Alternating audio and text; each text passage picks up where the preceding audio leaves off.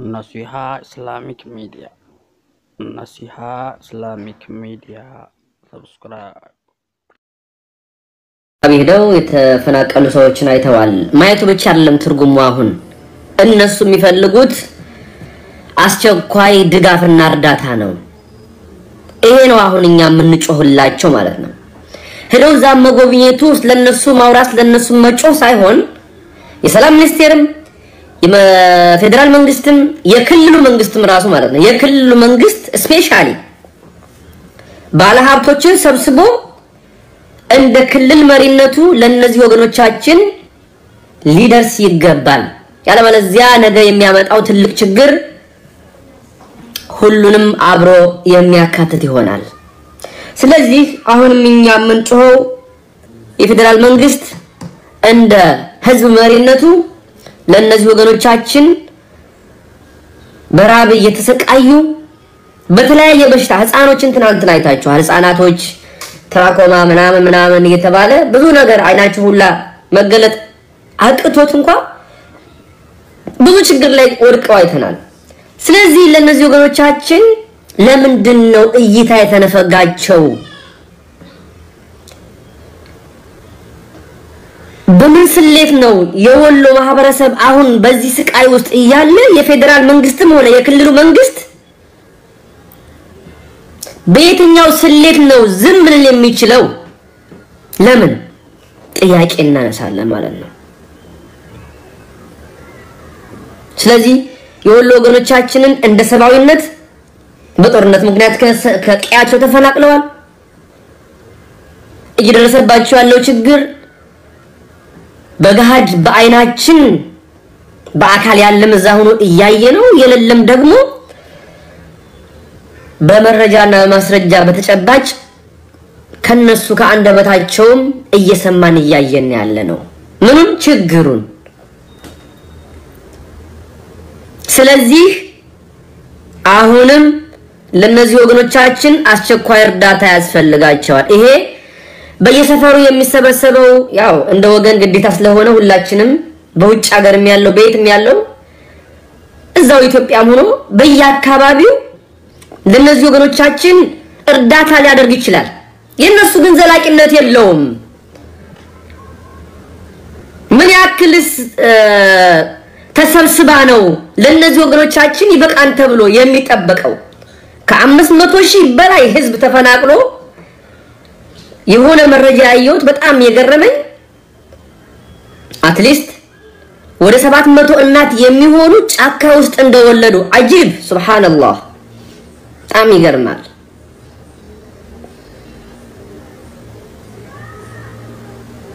በጣም ያሳዝናል። እንግዲህ እናት መቼም ሁሉን ነገር ተሸካሚ ሁሉ ስቃይ ቻይ ሆና ተመልከቱ። ህፃን ልጅ ወልዳ ለዚህ ህፃን ልጅ ያው ከሷ ነው ገና ለጊዜው እስከ ስንት ወራት ጊዜ ከሷ ፊድ የሚያደርገው የሚጠቀመው ያ ህፃን ልጅ እናት በራብ አለንጋ እየተቀጣች የሚላስ የሚቀመስ ምንም ነገር መቼም አፈር አይበላም ወንድሞቼ፣ አፈር አይበላም፣ ድንጋይ አይቆረጠምም።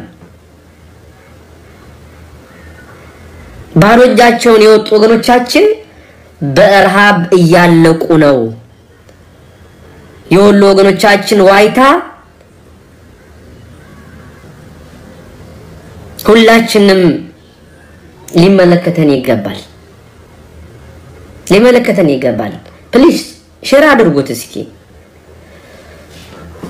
የወሎ ማህበረሰብ ለምንድን ነው ከፌዴራል መንግስት ምክንያቱም ይሄ አስቸኳይ ስለሆነ ነው ወንድሞቼ። ነገ ከነገ ወዲያ ከዛ በኋላ ከዛ ምናምን ሊደረግ ይችላል ልትሉ ትችላላችሁ። ሊደረግም ይችላል ላይደረግም ይችላል አላውቅም። ግን በአሁኑ ይሄ urgent የሆነ ጉዳይ ነው፣ አስቸኳይ ነው። ረሃብ ጊዜ ወቅት አይሰጥም። የሚጠብቅህ ነገር አይደለም፣ ቁሞ ይገልሃል እንጂ ህፃናቶቹን አይተናል እንዴት እንደሆኑ ሰውነታቸው ሁላ ፊታቸው ሁላ እንዴት እንደሆነ ማለት ነው። እናቶችን አይተናል። ድንጋይ ተንተርሰው በረሃብ ሰውነታቸው እንኳ ሁሉ ነገራቸው አልቆ ማለት ነው።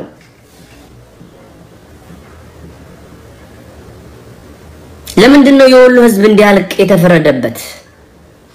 በምንኛው ስሌት ነው የወሎ ማህበረሰብ በየሄደበት የትኛውም አካባቢ ይሁን እንዲገደል፣ እንዲፈናቀል፣ እንዲቸገር፣ እንዲራብ የሚደረግበት ምክንያት ምንድን ነው? የትናንትናው ታሪክ ዛሬም እየደገመ እያየን ነው። የስልሳ ስድስት የሰባ ሰባት ታሪክ ሲናገሩ እኮ የሰውን ልጅ ተመልከቱ፣ የሰውን ልጅ ያክል አላሁ ዐዘ ወጀል ያከበረውን በህይወት እያለ አሞራ ሲበላው ነበር፣ ጅብ ሲበላው ነበር። የት ወሎ ላይ ይሄ ማይካድ ነው፣ ማይካድ ነው። ለፖለቲካ ጥቅም ሲባል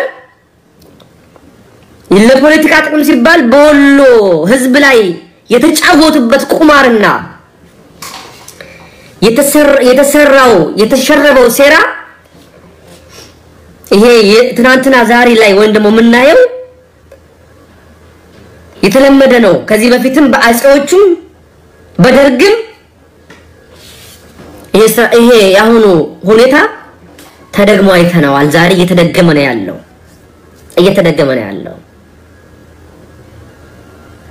ስለዚህ ለወገኖቻችን እርዳታ ያስፈልጋቸዋል። የፌዴራል መንግስት ለምንድን ነው ዝም ብሎ የወሎ ማህበረሰብን እያየው ያለው? የክልሉ መንግስት የሰላም ሚኒስቴር ትናንትና ለአፋር ወገኖቻችን ማሻአላ 120 ሚሊዮን or 102 ሚሊዮን I think 120 ሚሊዮን እንደዛ መሰለኝ 120 ሚሊዮን ብር ለአፋር ወገኖቻችን እርዳታ አድርጓል። በጣም ያስፈልግ ያንሳቸዋል። መደረግ አለበት መደረግ አለበት። ሌላም ሌላም መቀጠል አለበት። የአፋር ወገኖቻችን ዳር ድንበር አስከባሪ፣ ሀገር ጠባቂ እነሱ ራሱ የተሰራባቸው ሴራ አርብቶ አደር ናቸው ትምህርት አይማሩም እየተባሉ ብዙ ነገር ነው የተሰራባቸው። ያን ሌላ ጊዜ ልንመለስበት እንችላለን። ይቀመጥ። ኤኒሃው እርዳታ ተደርጎላቸዋል። ያንሳል ይሄም ነገር ግን ለወሎ ማህበረሰብ እስካሁን ድረስ አንድ እጁን የዘረጋ የለም። ጥያቄያችን ይሄ ነው። ጥያቄያችን ይሄ ነው። ሴራ አለ፣ የተሸረበ ነገር አለ። የፖለቲካ ጥቅም መጠቀሚያና የወሎም ማህበረሰብ ለፖለቲካ ቁማር ማስያዣ አድርገውታል የምንለው በምክንያት ነው፣ ዝም ብለን አይደለም። የክልሉ ባለሀብት ለምን አስር ሺህ የማይሆን ለምን አንድ መቶ ሺህ የማይሆን ለምን ሁለት መቶ ሺህ የማይሆን ለምንድን ነው እርዳታ የማይሰጠው? ለምን አይሰጣቸውም? ለምን አይሰጡም? ችግር አለ ማለት ነው እኮ ይሄን እንኳንም እንደው ማለት ትልቅ ሰው አይደለም ማንኛውም አካል አይደለም ህፃን ራሱ ያውቀዋል ይሄን ሴራ ማለት ነው። የወሎ ማህበረሰብ ሲራብ እጅህን አጣጥፈህ ቁጭ እያልክ ወይንም ደግሞ የወሎ ማህበረሰብ በራብ አለንጋ እንደዚህ እየተቀጣ እያየ ቁጭ ብለህ እጅህን አጣጥፈህ ባለሀብትም ሆንክ የመንግስት ሰራተኛም ሆንክ ግለሰብም ሆንክ ወሎ ኢትዮጵያዊ ነው፣ ወሎ እኮ ኢትዮጵያዊነት የሚለካበት በወሎ ነው ምናምን እያለ ጆሮአችን ያደነቁሩናል ማለት ነው። የታሉ ቤት አማራ እያሉ ወሎን ሲፎክሩበት የነበሩ የታሉ ዛሬ? ለወሎ አማራ እያሉ ወይም ቤት አማራ እያሉ ሲፎክሩበት የነበሩት የታሉ ታዲያ ዛሬ? ለምን እርዳታ አያሰባስቡላቸውም? የታሉ እነ ቤት አማራ ምን እየሰሩ ነው? እነ ወሎ ኬኛስ የታሉ? አያችሁ አይደለ? ስለዚህ ያም ሆነ ይህ የወሎ ማህበረሰብ አሁን ላይ ባለበት ሁኔታ አስቸጋሪ፣ በጣም አሳዛኝ፣ በጣም ልብ የሚሰብር ውስጥ ነው ያለው። ወገኖቻችንን መርዳት ግዴታ አለብን። የፈለገ ሰው ሊረዳ ይችላል፣ ያልፈለገ በነገራችን ላይ እዚህ ላይ የሚሳተፍ ኮንትሪቢዩት የሚያደርግ ማንኛውም አካል ስለወሎ የሚመለከተው ነው። ስለወሎ የማይመለከተው ይህን እያንዳንዳችሁ አስምራችሁ ያዙ። በወሎ ጉዳይ የማይመለከተው እጁን አጣምሮ ቁጭ ነው የሚለው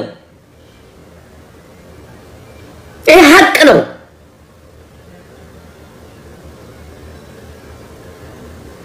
አዎ ሀቅ ነው። ይሄ ምንም የማይካድ እውነት ነው። ቢመለከታቸውማ ለእነዚህ ወገኖቻችን ልክ እንደ ማንኛውም አካል እንደሚደረግለት ከየትኛውም ከአዲስ አበባም በሉት ከደቡብም በሉት ከጎጃምም በሉት ከባህር ዳርም በሉት ከጎንደርም በሉት ከኦሮሚያም በሉት ከየትኛውም ከየትኛውም አካል ከየትኛውም አካባቢ ከየትኛውም ቦታ ለእነዚህ ወገኖቻችን እርዳታ ይደረግላቸው ነበር እርዳታ ይደረግላቸው ነበር። ነገር ግን ስለማይመለከታቸው የወሎ ማህበረሰብ በረሃብ ይለቅ ምን አገባን? of course እንደዚህ አይነት አስተሳሰብ አሁን እያየን ያለ ነው።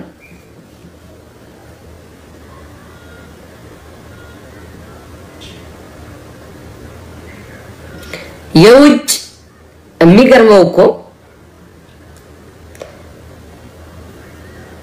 የምንድን ነው የዓለም ማህበረሰብ ላይ በርካቶች እርዳታ እንኳን እየጠየቁ ለሀገራቸው ሲያስገቡ እኮ አይተናል እኮ ለኢትዮጵያ ኢትዮጵያ ውስጥ ለወሎ ግን የለም፣ ለአፋር ግን የለም የለም። ለምን አናቅም። የተሰራበት ሴራ መሞቱ መፈናቀሉ ተመልከቱ። መሞቱ መፈናቀሉ አልበቃው ብሎ አሁን ደግሞ በረሃብ እንዲያልቅ በረሃብ አለንጋ እየተቀጣ እያየን ያለ ነው ማለት ነው የወሎ ማህበረሰብ። ስለዚህ ሁላችንም ልንጮህላቸው ይገባል።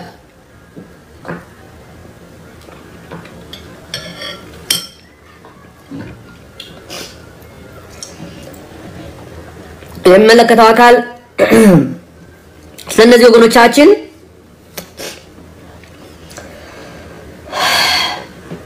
ከጎናቸው ሊሆን ይገባል፣ ልንረዳቸው ይገባል። ሀቂቃ በጣም ያሳዝናል።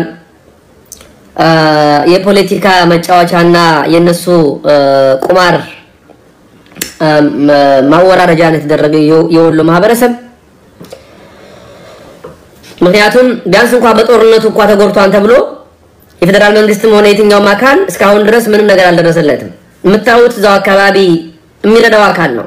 በውጭ ያለው የቻለውን ያክል የሚረዳው አካል ነው እንጂ ይሄ ፌዴራል መንግስትም ሆነ የክልሉ መንግስትም ባለሀብትም አርቲስትም ምንም ሌላም ሌላም አክቲቪስትም ለወሎ ማህበረሰብ እስካሁን ድረስ ለማሰባሰብ እንኳ የሄደ አካል I don't know እኔ ምናልባት አላየሁም እስካሁን ድረስ። ያው የወሎ ተወላጅ ካልሆኑ በስተቀር እዛው አካባቢ ያሉ ካልሆኑ በስተቀርና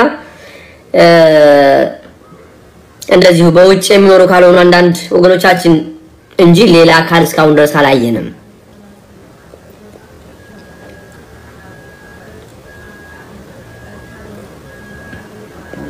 ማህበረሰቡ እያለቀ ወገን እያለቀ ዝም ብሎ የሚያይ አካል ካለ ይሄ ነግበኔ ነው። ምናልባት ነገም በአንዱ አካል ሊመጣ ይችላል። እኒህ ወገኖቻችን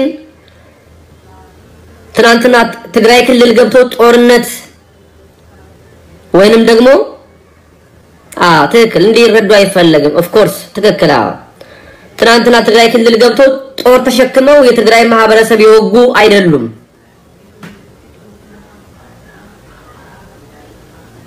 የሚገርማችሁ ከቀያቸው መፈናቀላቸው ብቻ አይደለም። ከቀያቸው ተፈናቅለው እንኳ ባዶ ቤታቸውንም አቃጥለው ያለውን ዕቃ መውሰድ የማይችሉትን እንኳ እየሰበሩ ተመልከቱ። ነገ እንኳ ቢመለሱ አጂብ ያላቸውን ንብረት እህል ለምሳሌ በገጠር አካባቢ እህል የሚያስቀምጡት በኩንታል በምን በምን እንደዚህ ተደርጎ ነው የሚቀመጠው። ያን እንኳን የማይችሉትን አቃጥለው እዛው ላይ በትነው ወደ ሰፈራቸው ወደ ቀያቸው ቢመለሱ እንኳን ራሱ ተመልከቱ፣ ስንት ሞት ነው እነዚህ ወገኖቻችን እየሞቱ ያሉት። ህይወታቸውም እያለፈ እዚህ የቀሩት እንኳን በህይወት የተረፉት እንኳን ነገ ተመልሰው ወደ ቤታቸው ገብተው እንኳን ቤታቸው እንዳልሆነ ሆኖ ነው ያለው በዚህን መካከል ውስጥ ያለ ወገናችንን ለመርዳት ሰው መሆን በቂ ነው። በእውነት መቼም ዛሬ ጊዜው አሁን ያው ማንም እንደሚለው ሁሉም ለወገኔ ለወገኔ ነው የሚለው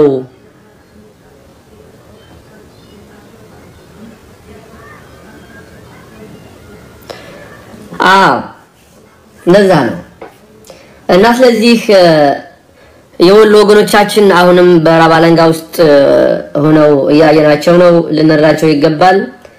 እኛም አሁንም ጮታችን የፌዴራል መንግስትም ሆነ የክልል መንግስት እነዚህ ወገኖቻችን መታደግ አለበት።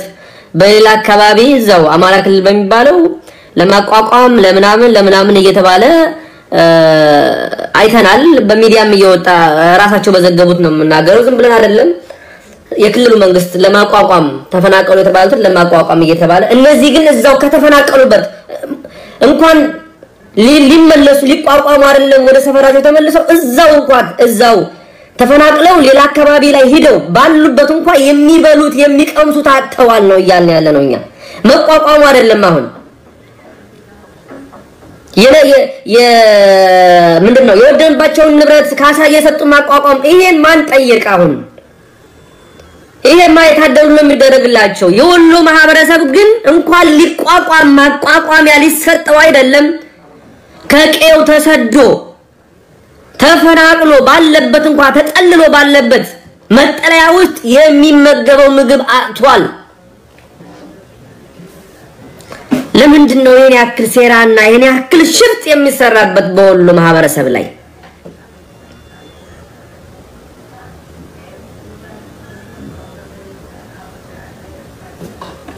በጣም እኮ ነው የሚያሳዝነው። ወይ ወይ ወይ ሰይዳ ኢማም ግራኝ አለሽ እንዴ? አንቺ ልጅ ባላ ሀገር ቤት ገብተሽ ነው? OK እሺ። ኢማን እንግዲህ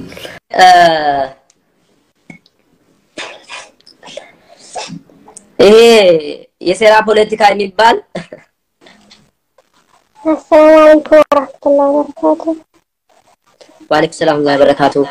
ኡስታዝ ራያ አባ መጫ ተደብድቦ ተደብድበው ከመንግስት ማስጠንቀቂያ ተሰጥቶ ተባረረ ማለት አልገባኝ። ወሎ ሂዶ እርዳታ ሊያደርግ ሂዶ ነው። የሚገርም እኮ ነው። አልሰማሁም ይሄን ዜና ደግሞ። እስኪ ግልጽ አድርጊልን እህታችን። OK تفضلي። እሺ ሰላም ብያለሁ ሁላችሁንም። ኢንሻአላህ ወንድማችን حقيقة የወሎ ነገር በጣም ግራ የሚገባ ነገር እየሆነብን ያለው ነገር ግን አሁን ሁሉም ነገር እየወጣ ያለው ምክንያቱም የወሎ ህዝብ አክቲቪስት የለውም። የወሎ ህዝብ የወሎ ህዝብ ጠያቂ የለውም። የወሎ ህዝብ ፖለቲከኛ የለውም።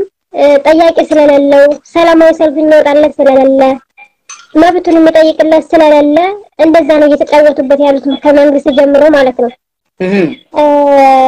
የአማራ ክልል መንግስትም ዙሮ ሊያየው አልፈለገም። ፌዴራል መንግስትም ዙሮ ሊያየው አልፈለገም። አይደለም አይደለም ቀርቶ ነፃ ነፃ የሆኑ እንትኖች እንኳን ማለት ነው ከጁንታው ነፃ የሆኑ ቦታዎች አንድም ነገር የመላክ ፈቃደኛ አይደለም ማለት ነው።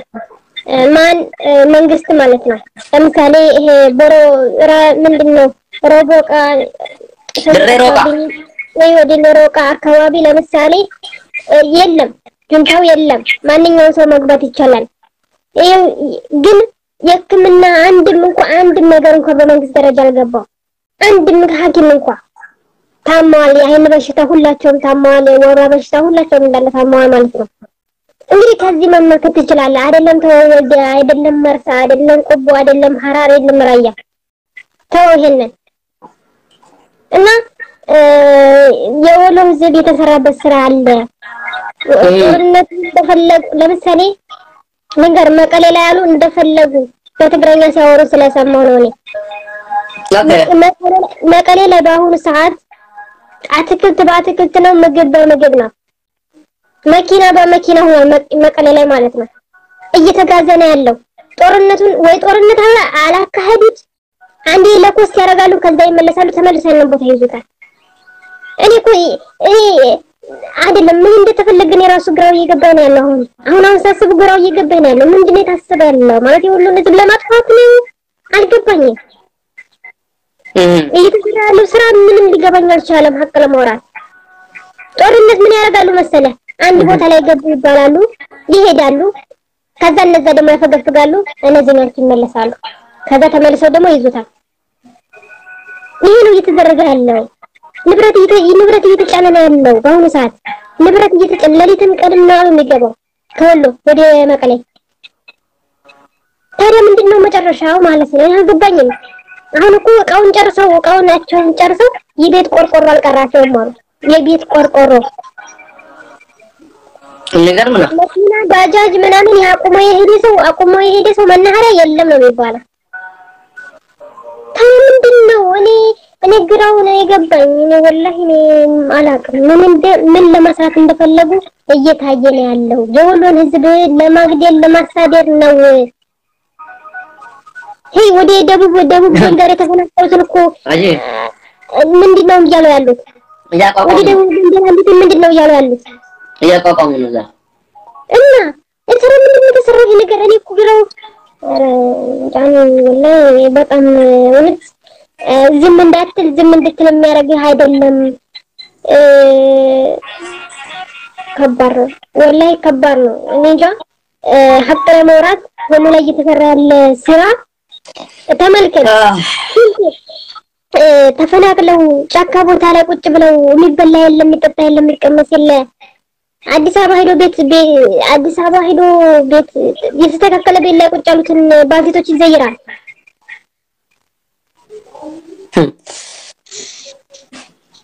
ታዲያ ምንድን ነው? እኔ እኮ ሀቅ ለማውራት የሚናገር ሰው የለም። የምትችሉ ከሆነ በውጭ ሀገር ያላችሁ ሀቅ ለማውራት ሰላማዊ ሰልፍ ውጡ። ለወሎ ህዝብ የወሎ ህዝብ ያልታወቀ ስራ እየተሰራበት ነው ያለው። ያልታወቀ ስራ እየተሰራበት ነው አፋርስ እሺ ቲቪ ስላለው አፋሮች በእርግጥ አና ያንሳቸዋል፣ አሁንም ያንሳቸዋል። የተቃወምኩ አይደለም። የራሳቸው ቲቪ ስላላቸው በሚዲያቸው እንኳን እያ- እያ- እያወጡት ነው ጉዱ። የኛ ግን ማን ያውጣ? ማን ይናገር?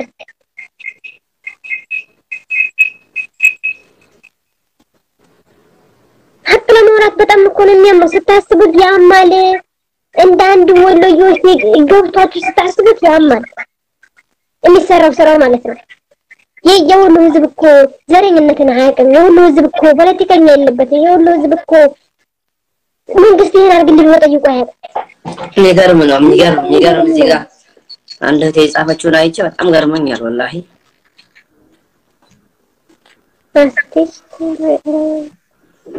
አርቲስት ከረዴማ የሚባል አለ። ሲራዳ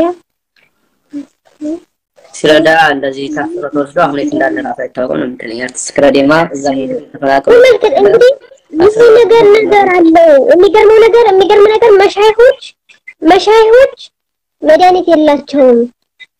በሞትና በህይወት ውስጥ ናቸው እየተባሉ መድኃኒት እንኳን ማን ያደርስላቸው? ስለዚህ ምንድን ነው እኔ እየተፈለገ ያለው ነገር ምንድን ነው? በተለይ ውጭ ያላችሁ የሚመቻችሁ ካለ ሰላማዊ ሰልፍ መውጣት አለባችሁ ነው የምለው እኔ። እኔ ወደ ውጭ ሰላማዊ ሰልፍ መውጣት የምትችሉ ግን ድምጻችሁን አሰሙ። ድምጽ እንዳይሰማ እየተደረገ ነው ያለው በአሁኑ ሰዓት። በየሄድክበት ተከታትለው ነው ሚዲያህን የሚዘጉት ያለ። ምንድን ነው የተፈለገው? ትክክል። ብዙ ልጆች ራሱ እየተዘጋባቸው እኔ ስለዚህ ቲክቶክ ተዘግቷል። እኔ ቲክቶክ ተዘግቷል። ለምን ለምን? እኔ ወላሂ የማንንም ዘርም ዘር መርጬ አይደለም፣ ግን ፍትህ ለወሎ ነው ያልኩት። በዚህ ብቻ በማለቴ ተዘግቷል። ያ ይዘጋሉ። በእርግጥ of course ብዙ ልጆች ተዘግቶባቸዋል። ታዲያ እንዴት ነው ማለት ይሄ ነገር ምን ምን ይመስላል ስታየው? ይሄ እውነት የጦርነት ነው? እውነት አብይን የመያዝ ነው? እውነት ህወሓትን የማጥፋት ነው? አይደለም። የሁሉን ህዝብ ለማጥፋት የተነሳው የአማራ ክልል መንግስት የሁሉ ህዝብን ለማጥፋት የተነሳው ነገር ነው። ልንገር፣ የሆነ ሚዲያ አለ ፍትህ ለወሎ ወሎ ህዝብ እየሞተ ነው ያለው ስል block ነው ያደረጉት። ትልቅ ሚዲያ ነው። ማን ሚዲያ የሚባል አለ ስም ጠፋኝ። ስለ ወሎ የሚባል ነገር እንዲነሳ አይፈልጉም። ወሎ እየተባለ ህዝብ እንዲባል በስመ አማራ እንዲጠራ ነው የተፈለገው። ግን እየተጎዳ ያለው ችግሩን እየቀመሰ ያለው ሞቱን እየቀመሰ ያለው ህመሙን እየቀመሰ ያለው የወሎ ህዝብ ነው። የወሎ እናት ናት። የወሎ አባት ነው። የወሎ አርሶ አደር ነው።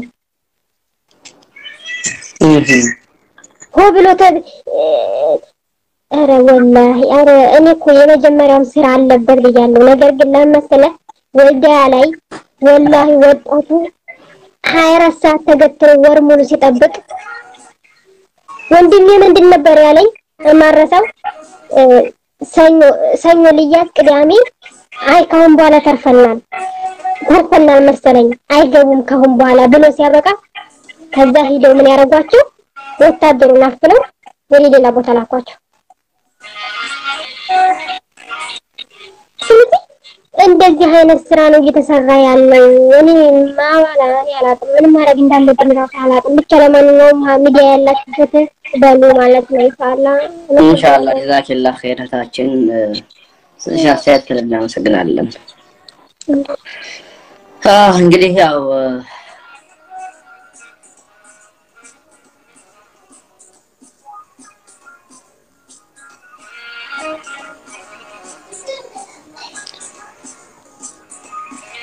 ሌላ ሰው ሀሳብ መስጠት የሚፈልግ ካለ እሱን እንቀበልና ፕሮግራማችንን እንዘጋለን። ለወሎ ማህበረሰብ አሁንም እርዳታ አነሳደገ ቢያንስ እንኳ የተወሰነ ህይወታቸውን እንታደጋቸው የሚል መልእክታችን አሁንም ይቀጥላል። ስፔሻሊ የፌዴራል መንግስቱ ይመለከተዋል። እንዲሁም የክልሉ መንግስትም በተዋረድ ይመለከተዋል፣ በደንብ አድርጎ ይመለከተዋል። ግን የወሎ ማህበረሰብ እያለቀ ነው። በረሃብ በረሃብ እየተቀጣ ነው ያለው። በርካታ ሰው አሁንም ሚዲያ ላይ ወጥቶ እየለመነ ነው ያለው ማለት ይቻላል። እየተናገረ ነው ያለው። ድረሱልንም እያሉ ነው።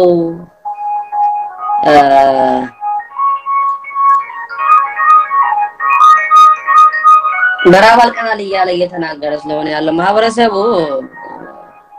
የሻለ ሰው እንግዲህ ኢንሻአላህ ለወንድሞቻችን ለወገኖቻችን ደርስላቸው። ነገር ግን ጥያቄያችን አሁንም ይቀጥላል። እነሱ እርዳታ እስከሚያገኙ ድረስ በቂ እርዳታ ሊያገኙ ይገባል። መንግስት እንኳ ባይችል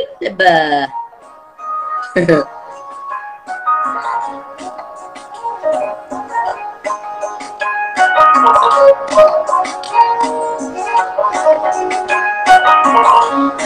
you.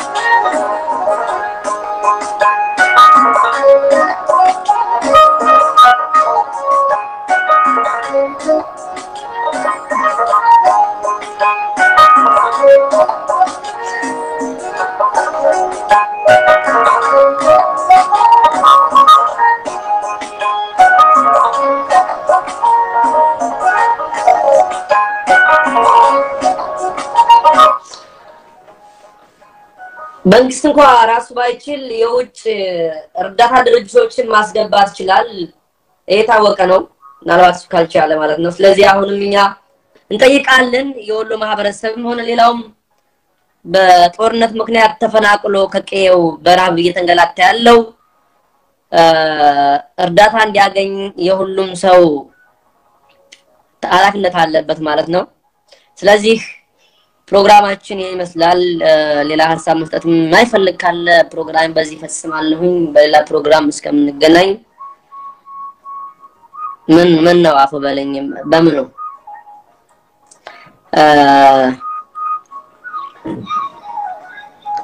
ከልብ እናመሰግናለን እንግዲህ ስለተከታተላችሁ ወገኖቻችን። ሀቂቃ በጣም ያሳዝናል ያሉበት ሁኔታ። በፎቶም አይታችሁታል። ማሳየቱ ትርጉም ከሌለው ብዬ ነው እንጂ ያው እንደዚህ ተቀናብሮ በጣም ብዙ ወንድሞቻችን እየተቀባበሉት ይገኛል።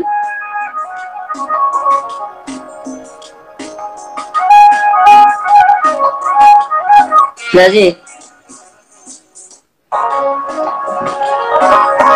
በጣም ተርበው ነው ያሉት። የረሃብ እንትን ነው የሚያሳየው ፎቶ ምኑም እንደዚህ ነገር ነው። ስለዚህ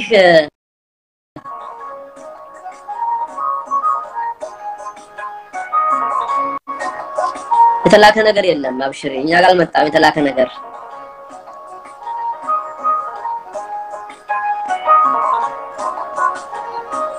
እንደዚህ ሆኖ ማየት በጣም ይከብዳል። እውነት ለመናገር ያሳዝናል። እንደዚህ በረሃብ አሳዝንም በጣም ወላሂ ህፃናቶች እንደዚህ ሰውነታቸው ጠውልጎ እናቶች እንደዚህ መነጋገር አቅቷቸው በጣም አዛውንቶች ያረጁ ሰዎች በረሃብ ምክንያት እንደዚህ ሰውነታቸው ጥልግልግ ብሎ ስታዩ ያሳዝናል በጣም። ስለዚህ እኛ ብቻ አይደለንም የዓለም ማህበረሰብ እውነት ለመናገር ይሄን ሲያይ ምን እንደሚሰማው ማንኛውም የሰው ልጅ በመሆኑ ትልቅ ስሜት አለውና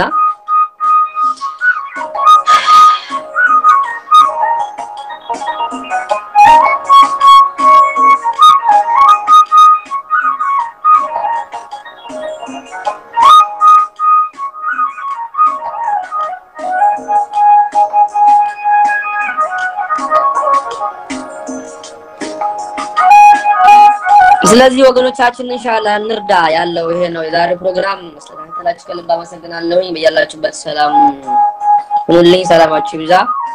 ማህበረሰባችንም ሀገራችንም አላህ ይጠብቅልን። ሰላም ይገባል። በአሁን ባለው ሁኔታ የመጀመሪያው አሁንም ኢትዮጵያ ላይ እየሆነ ያለው ወይም ደግሞ በተለይ በሰሜኑ አካባቢ ላይ እየደረሰ ያለው ጫናና ችግር ተባብሶ ቀጥሏል።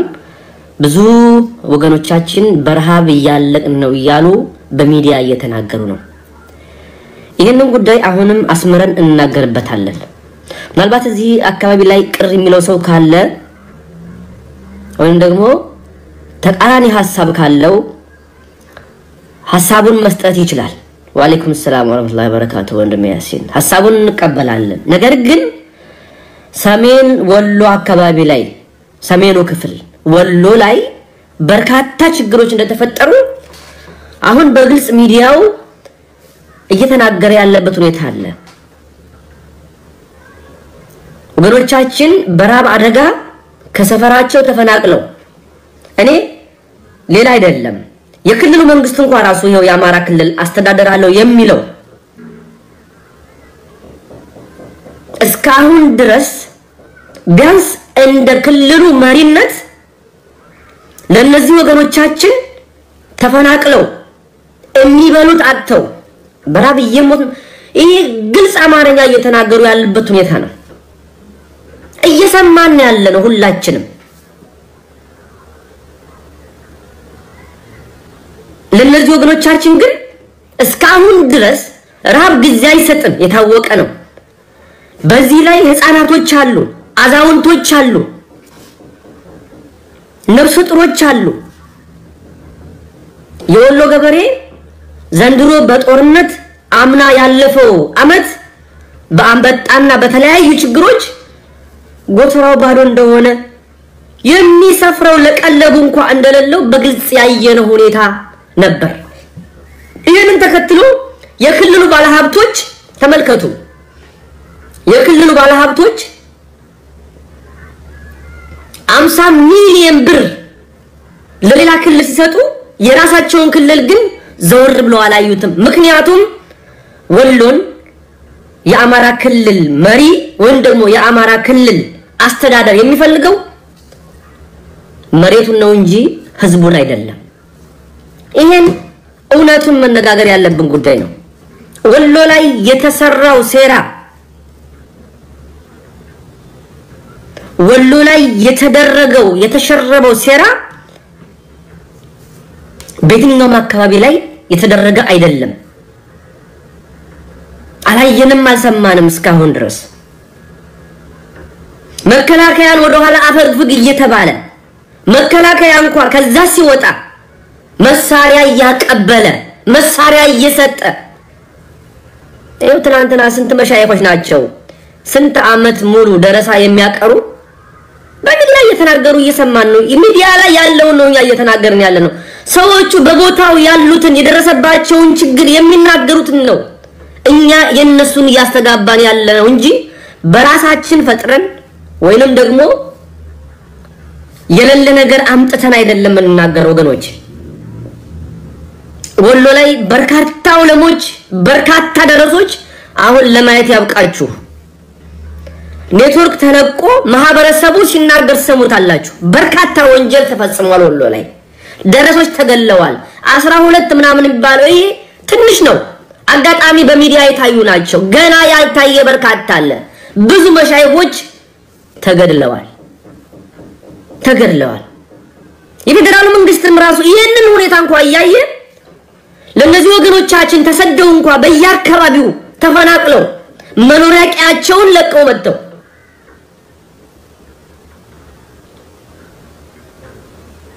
እስካሁን ድረስ ምንም ነገር ያለው ነገር የለም የለም። ለምሳሌ እኔ በዚህ ጉዳይ ላይ የምናገረው በምክንያት ነው፣ ዝም ብዬ አይደለም። የዓለም ማህበረሰብ የእርዳታ ድርጅቶች ብዙውን ጊዜ አይታችሁ ከሆነ ኢትዮጵያ ላይ ራብ ተከሰተ ምናምን ምናምን ሲባል ወደ ሰሜኑ ክፍል ሁልጊዜ እርዳታ ይባላል። ነገር ግን እነዚህ እንረዳለን የሚሉ አካላቶች እነማን እንደሚረዱ በደንብ አድርገን እያወቅን እያየን ነው ባይናችን።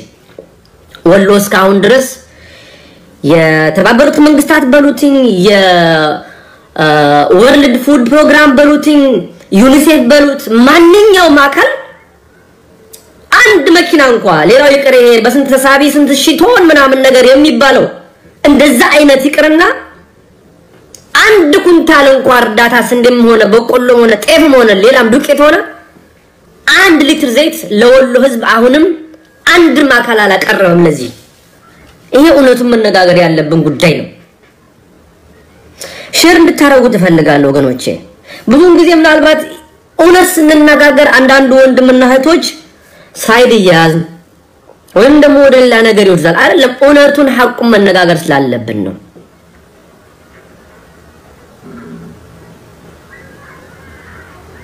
ሌላ ክልል ላይ የዓለም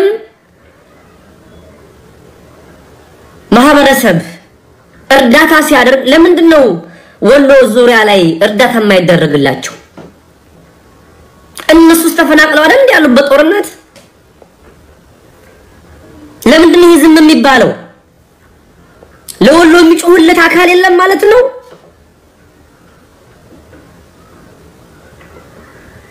ይሄ በጣም የሚያስተዛዝብ ነው። መሆን የሌለበት ጉዳይ ነው። ወገኖቻችን በረሃብ እያለቁ ነው።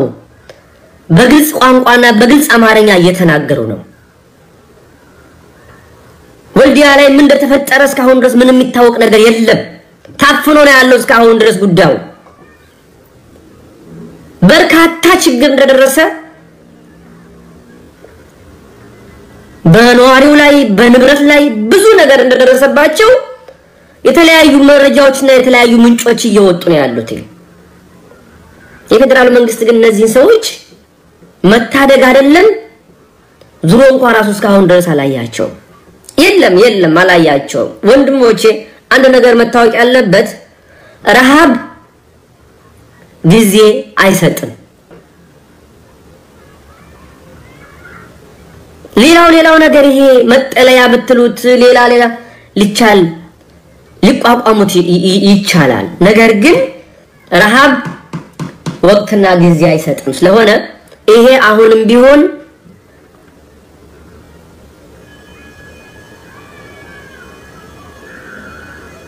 ሊታይ የሚገባው ጉዳይ ነው።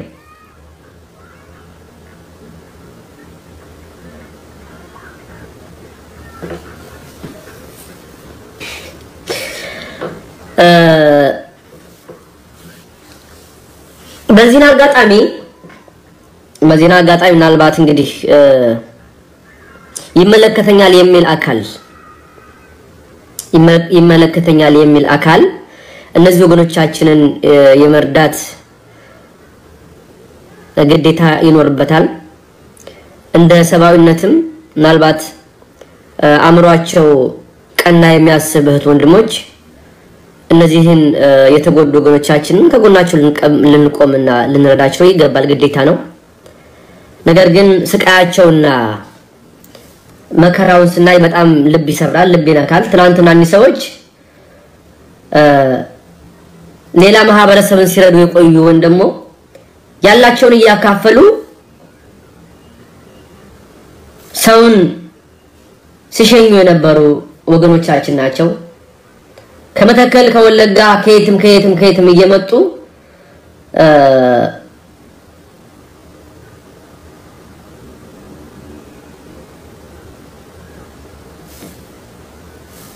እነሱ ጋር ነበረ ተጠልለው ችግራቸውንም ሆነ ምንም እንትን ለማለት የሄዱበት አጋጣሚ አለ። ይህንን አይተናል። ነገር ግን ሌላው ማህበረሰብ አሁንም ጆሮ ዳባ ለብሶ ነው ያለው። ይሄንን ጉዳይ እንደ ቀላል አድርገው ብዙዎቹ እያዩት ነው ያሉትኝ። ምክንያቱም ምናልባት ነግ በኔ ነው በእኔ አልደረሰም የኔ ወገን ወይም ደግሞ የኔ አካል እንደዚህ አልሆነም እና የራሱ ጉዳይ የተራበው ይራብ ምናምን ነገር የሚባል ነገር ካለ ይሄም አሁንም ቢሆን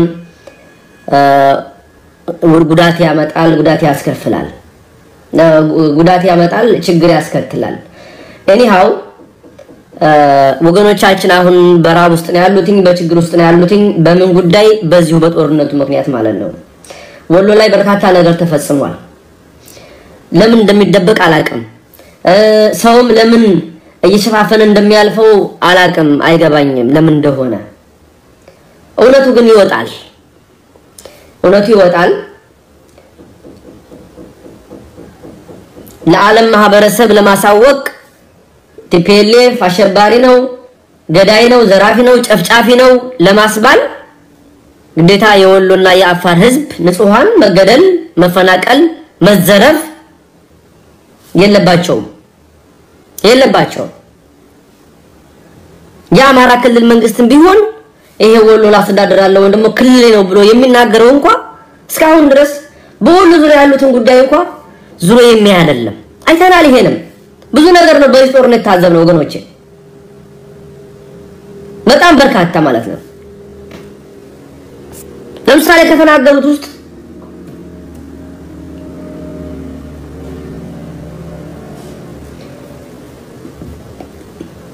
እኔ የሚገርም ነው እኮ እሱንማ ገለውታል። አንደኛው ተመልከቱ እንግዲህ ያለውን ስቃይ ምንም ነገር የለም እያሉ እየተናገሩ ነው። አንዳንድ ሰው ደግሞ አይዟችሁ እያለ እየረዳን ነው እንጂ የለም በቃ ከተማይቱን አሁን በአብዛኛው ተመታ ነው የሚባለው። እንደገና አንዳንድ ደህና ደህና ቤቶች የሚባሉትን ተመታ ነው የሚባለው። እቃ በአብዛኛው እቃዎች ተወስደዋል። በቃ ምንም እቃ የለም ነው የሚባለው። ዱቄት ምናምን ጥራጥሬ የሚበላ ነገር እሱ በቃ ለይስጡትም እነሱ እንትን ይበሉትም የለም ነው የሚባለው። እንደገና መስመር ላይ ያሉ አሁን ተቋም ቴሌቪዥን፣ የግለሰብ ቴሌቪዥን ምናምን ቤቶች እነሱ ሁሉም እነሱ ተመዘግበዋል ነው የሚባለው። መስመር ላይ ያወጡ ከስሷቸዋል አሉ። አዝመራ ወቅት ነው። እኛ በአሁኑ ሰዓት አዝመራ አለን ብለን አንልም፣ የለም በከባድ መሳሪያ ተመቶ ከዛ ላይ በሰው እግር ተረግጦ ጤፍና ማሽላ አለ ብለው ለማለት ገበሬ ይፍረድ። የለም እኛ አሁን ሄደን ኬንዳ ማረግን ምንም ማረግን መጀመሪያ ፈጣሪ ሰላም ያርግልን። እዛ ሄደን መግባት የምንፈልግ በመጨረሻ እኛ ሰላም ሀገራችንን ያርግልን። በሰላም ከሀገራችን እንግባ። አላህ ይርዳን ነው ጤና ይስጥልኝ።? እዚህ በደሴ ከተማ የህወሓት ወራሪ ኃይል ባደረሰው ጥቃት እዚህ ደሴ ከተማ መጥተዋል መጠለያ ውስጥ ነው ያሉት የስደተኞች ካምፕ። እስኪ እዛ ስለነበረው ነገር ስለተፈጠረው ነገር እስኪ ንገሩ። ምንድን ነበር የተፈጠረው መጀመሪያ ላይ? ከዛ እነሱ ገቡ ሲባል እኛ እስኪ እንውጣ ወጣት እንውጣና ቦታችንን እንዳይደፍሩ ከተማ ሳይገቡ ሽማግሌዎቻችን ሳናሸሽ ብለን እኛ በምንወጣበት ሰዓት ያው መከላከያ እንግዲህ የራሳቸው case መሰለኝ ተመለሱ ተባልን። ምን ታደርጋላችሁ መከላከያ ገብቷል ተመለሱ ተባልነ። እሁድ ማታ ነበር ወደኛ የገቡት ሐምሌ ሶስት ላይ በዛን ሰዓት እኛ እንደገና ተመልሰን ወደ ቤታችን ገባን። ወደ ቤታችን ገብተን አዳሩንም ውለውንም ሲተኮስ ዋላ አደረ። እኛ ሰኞ ቀጥታ ወጣን። ስንወጣ ልጆቻችንም በስርዓት ይዘንም አልሸሸንም። ሽማግሌዎቹም አልወጡም። ሁሉም እዛው ነው የቀረው። ያው እኛ ጉልበት ያለን ብቻ በመኪና ተንጠላጥለን በእግራችንም ብለን ወደ ደሴ ከተማ ገባን። ደሴ ከተማ ደግሞ እስካሁን እግዚአብሔር የተመሰገነ ይሁን ደህና ነን እና አሁን ላይ ደግሞ ወዲያውን ገብተው ሰኞውን ገብተው መርሳን ተቆጣጠሩ ያዙ። የእኛ መከላከያም ሸሽቷል ተባለ። ወዲያው ቤተሰብ የዋን እያደረ ስንጠይቃቸው የሚመጣውን የሸሸ የሚመጣውን ስንጠይቃቸው ያው እስካሁን ድረስ ያን ተመልከቱ እንግዲህ የሚናገሩትን ስሙ። እዛው በአካል ያሉ ሰዎች ናቸው የሚናገሩት። ይሄን መከላከያ ይሸሽቷል። ተመልከቱ። ለምንድን ነው የሚሸሸው? አጅብ እኮ ነው። ባዶ እጁን አይደለም እኮ ደግሞ የሚሸሸው። የሚገርማችሁ ማለት ባዶ እጁን ነው የሚሸሸው ልላችሁ ነው።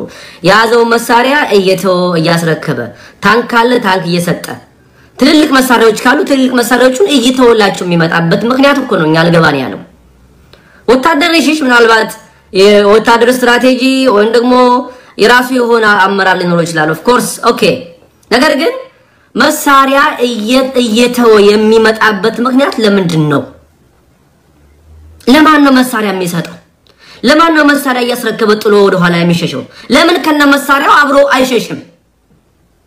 ለምን አብሮ አይሸሽም? ይሄ ነው ጥያቄያችን። ወሎ ላይ የተሰራው ሴራ የተሰራው ከባድ ወንጀል ከዚህ ጋር አብሮ የሚሄድ ነው። በርካታ ወገኖቻችን ችግር ውስጥ ነው የገቡት። በርካታ ወገኖቻችን ስቃይ ውስጥ ነው አሁን ያሉት በልመና። ይህንንም እንኳ ራሱ እንደዚህ ሆኖ እየታየ በሚዲያ እየወጣ የክልሉ መንግስትም የፌዴራል መንግስትም ለነዚህ ሰዎች አንድም ነገር ያደረገላቸው ነገር የለም እስካሁን ድረስ። ለምንድን ነው እንጠይቃለን። ይሄን እንዴ ትግራይ ክልል ላይ ቢያንስ ጦርነት እንኳን እያለ እኔ ጦርነቱን ደግፌ አይደለም፣ ወይም ደግሞ ትግራይ ላይ በተደረገው ጦርነት መደገፌ አይደለም፣ አልደግፍም። ነገር ግን ጦርነቱ እንኳን እያለ እየተካሄደ የእርዳታ ድርጅቶች እየገቡ ለነዚህ ሰዎች አነሰም ጎደለም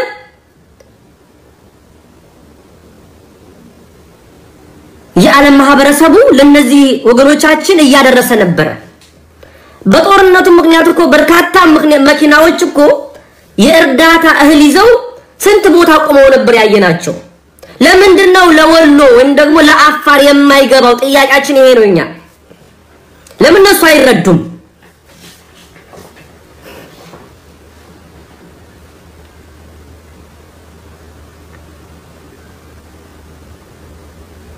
ረሃብ ያለው ትግራይ ብቻ ነው እንዴ? የተፈናቀለው በጦርነቱ ምክንያት እዛ ብቻ ነው ያለው? ይሄው በአይናችን እያየን አይደለ? ከራያ ከቆቦ ከዋጃ ከየት ከየት ተፈናቅለው ኮምቦልቻ፣ ደሴ የት አካባቢ በየመንገዱ ያሉት ወገኖቻችን የነዚህ ጉዳይ ሳ የሚመለከተው አካል የለም። ስለዚህ አሁን ለነዚህ ወገኖቻችን እኛ ድምፅ እንሆናለን። አስቸኳይ የእርዳታ ሁኔታዎች ለነዚህ ወገኖቻችን ያስፈልጋቸዋል። በጦርነት ምክንያት ነው ከቀያቸው እየተፈናቀሉ የነበሩት። በጦርነት ምክንያት ነው እኒህ ሰዎች የተዘረፉት፣ በርካቶች የተገደሉት ማለት ነው።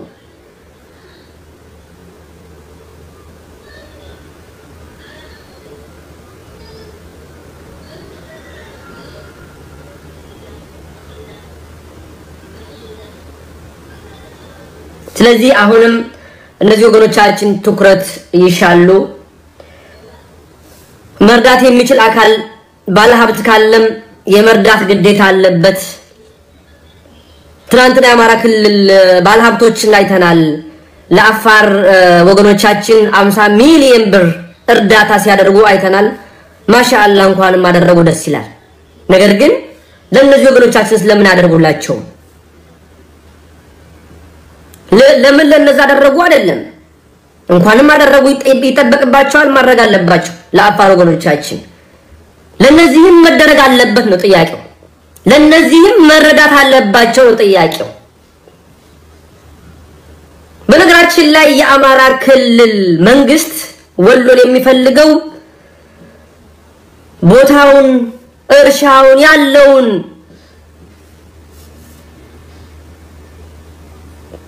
ነባራዊ ሁኔታ ነው እንጂ ህዝቡን አይደለም የምንለው በምክንያት ነው።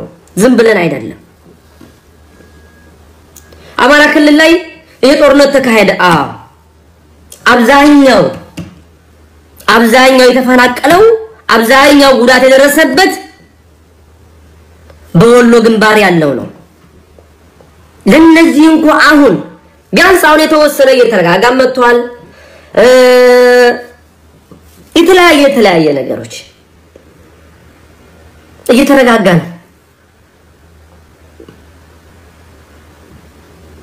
የጥፋት ኃይል አድራሹም ያው እንደገና ይህን ሁላ ችግር ከፈጸመ በኋላ ተመልከቱ። ይህን ሁላ ችግር ካደረሰ በኋላ ይህን ሁላ አደጋ ካስከተለ በኋላ አሁን ዛሬ የፌዴራል መንግስቱም ምኑም መከላከያውም ምኑም ምኑም እያለ ይሄን አካል አጸዳለሁ ብሎ እንትን ይላል። ለምን ገና መጀመሪያ ሳይገቡ እኒህ ሰዎች? እኛም ጥያቄያችን ዋናና ዋናው ይሄ ነው። እኒህ ሰዎች ገና ሳይገቡ እኒህ ሰዎች ገና ወደ ወሎ ሳይገቡ ለምንድን ነው የፌዴራል መንግስትም ሆነ አሁን መከላከያው እያጠቃ ያለው? ለምን መጀመሪያ ላይ ገና የነሱን ክልል አልፎ ሲመጡ አላጠቃም ወይም ደግሞ አልተከላከለም ነበር? የወሎ ህዝብና የአፋር ህዝብ ትናንትና የመከላከያም ሆነ የትኛውም አካል ትግራይ ላይ ባደረገው ወይንም ደግሞ በከፈተው ውጊያ የወሎ ህዝብ ነው ወይ ማወራረጃ የሚሆነው? የወሎ ህዝብ ነው ወይ ይሄንን ችግር ተሸካሚ የሚሆነው? ለምን ምን ባደረገ? ለምንድን ነው ንብረቱ የሚዘረፈው?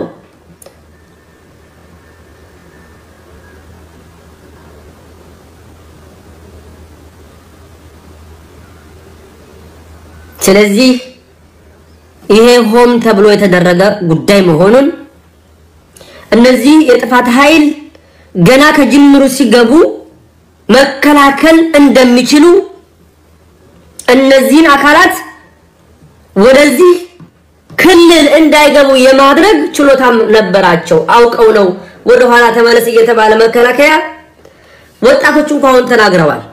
እኛ እንኳን ሂደን ሰፈራችንን እናስጠብቃለን አዛውንቶች አሉ፣ ህፃናቶች አሉ፣ ነፍሰ ጡሮች አሉ። ጥለን አንወጣም ከቀበሌያችን ስንል አይ እናንተ ተመለሱኛለን እያለ መከላከያ እንደዚህ ሲቀልዱብን ነበር እያለ እየተናገረ ነው። በግልጽ በአማርኛ ማለት ነው፣ በሚዲያ ላይ በሚዲያ ላይ። ስለዚህ ወሎ ላይ የተፈጸመው አሁንም በርካታ ነገሮች አሉ። ያም ሆነ ይህ የተሰራው ስራና የተሸረበው ሴራ ምናልባት ሁሉም ነገር ጊዜውን ጠብቆ የሚወጣ ይሆናል። ነገር ግን ወገኖቻችን አሁን አስቸኳይ እርዳታ ይፈልጋሉ። of course ህዝቡ እየተራበ ነው ያለው። ህዝብ ችግር ውስጥ ነው ያለው። የክልሉ መንግስት በግንባር ቀደም ተጠያቂ ነው። እነዚህን ሰዎች ሰርቫይቭ እንዲያደርጉ የቻለውን ያክል ለእነዚህ ሰዎች መድረስ አለበት። በነገራችን ላይ የወሎ ከተሞች አሉ የሚባሉት አንድ የቀረ የለ። የቀሩት ኮምቦልቻና ደሴ ብቻ፣ ሌላው ወድሟል። ሌላው እንዳለ ወድሟል። ሰቆጣ ብትሉ ወድሟል። ላሊበላ ብትሉ ወድሟል። ወልዲያ ብትሉ፣ ቆቦ፣ ዋጃ፣ እነ መርሳ ትልልቅ ትልልቅ ከተሞች ወድመዋል።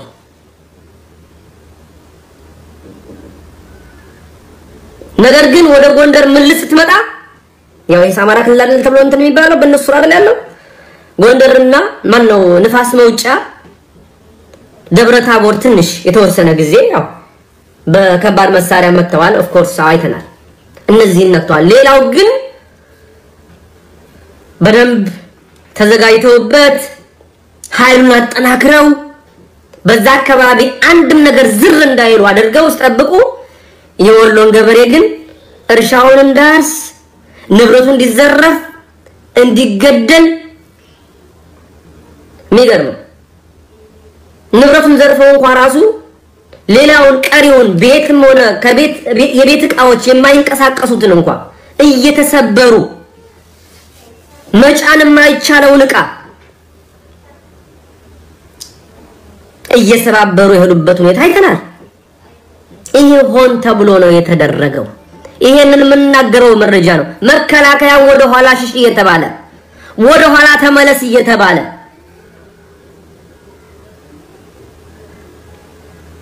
ምን ችግር አለው? ወደ ኋላ ቢሸሽም ደግሞ መሳሪያውን ይዞ ቢሸሽ ችግር የለም። መሳሪያ እያስረከበ መሳሪያ እየሰጠ የወሎን ሕዝብ እንደዚህ አድርገው አስጨፍጭፈውታል።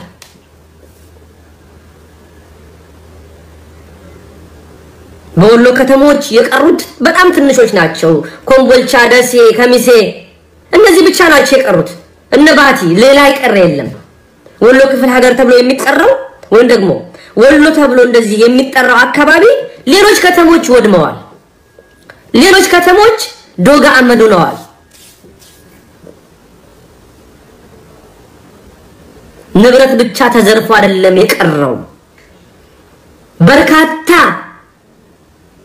ንጹሃኖች ተገለዋል። በርካታ ሴቶች ተደፍረዋል።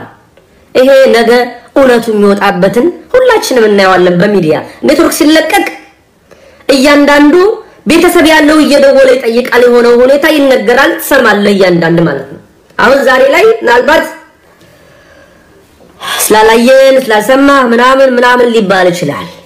ነገር ግን ወሎ ላይ የተሰራው ሴራና የተደረገው ድርጊት በጣም አስነዋሪ፣ አሳፋሪ ነው። ወገኖቻችን አሁን በራብ እያለቁ ነው ያሉት። የፌዴራል መንግስቱም እውነቱን መነጋገር አለብን። የፌዴራል መንግስቱም ዛሬ ለአዲስ ዓመት ተብሎ ተመልከቱ፣ ለአዲስ ዓመት ተብሎ ለአቅመ ደካሞች ለፎቶሾፕ እየተባለ ለፎቶሾው እየተባለ ለእይታ እየተባለ በግ ዘይት ምን ምን ይሰጣቸው ጥሩ ደስ ይላል። ለአቅመ ደካማ ማንኛውም ሰው ቢረዳቸው ደስ ይላል። ለነዚህ ሳ ተርበው በረሃብ እየሞትን ነው እያሉ እየተናገሩ በየጎዳናው ወድቀው ላሉት በጦርነት ምክንያት ከአካባቢያቸው ለወጡት ወገኖቻችን ለምንድን ነው ትኩረት የሚነፈጋቸው? ለምንድን ነው ትኩረት የማይሰጣቸው?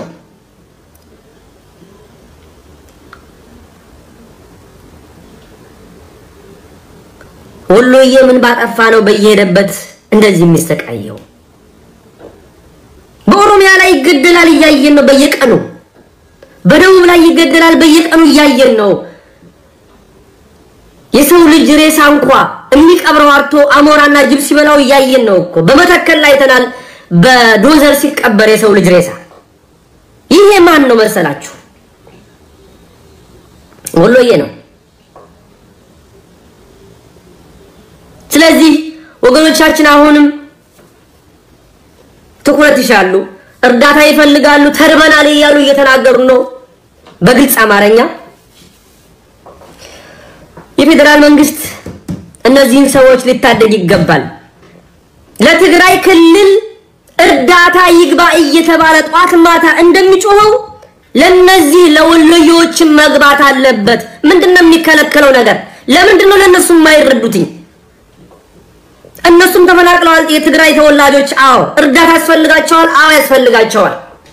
ይረዱ፣ መረዳት አለባቸው። በጦርነት ምክንያት ነው እነሱም ከቀያቸው የተፈናቀሉት። የወሎዎችም ልክ እንደዚሁ መረዳት አለባቸው። ለትግራይ ክልል ብቻ ተብሎ የሚጫን እህል ሊኖር አይገባም። የተባበሩ መንግስታት ድርጅት ምናምን ነገር እርዳታ ዩኒሴፍ ምናምን የሚባለው ለወሎም ሊደርስ ይገባል ነው ጥያቄያችን እኛ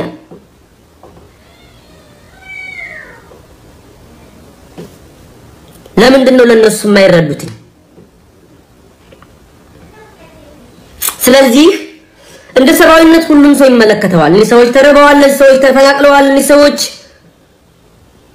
ተቸግረዋል። አዎ ከሰብአዊነት ሲወርድ ግን እንደ ወሎ ተወላጅነት ደግሞ የወሎ ተወላጅ ዓለም ላይ ያለ ግዴታ አለበት ግዴታ አለበት እነዚህን ሰዎች የመርዳት ወገኖች ናቸው። ይሄ ነው ግዴታ የሆነበት ምክንያት እኔ ይህን የምናገረው መርጬ አይደለም። በነገራችን ላይ ሌላው አካል ዝም ካለ የክልሉ መንግስትም የማይረዳ ከሆነ የፌዴራል መንግስትም የማይረዳ ከሆነ የምግብ አቅርቦት የተባበሩት መንግስታት ዩኒሴፍን በሉት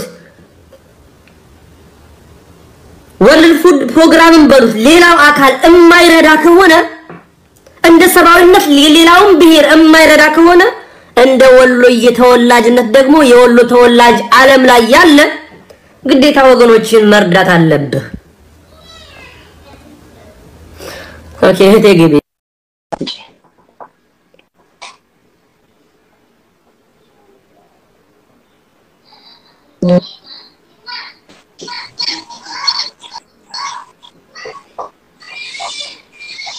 ሄሎ አሰላሙ አለይኩም ወራህመቱላሂ ወበረካቱ። ወአለይኩም ሰላም ወረህመቱላሂ ወበረካቱ።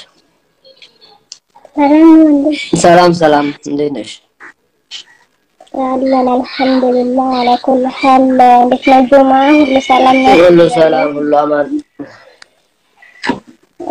ያው እንግዲህ ወሎ የወሎ ስቃይ በእርግጥ አሁን ብቻ አይደለም የአሁኑ ቢብስም ቆይቷል። already አመት ከምናምን ሆኖታል።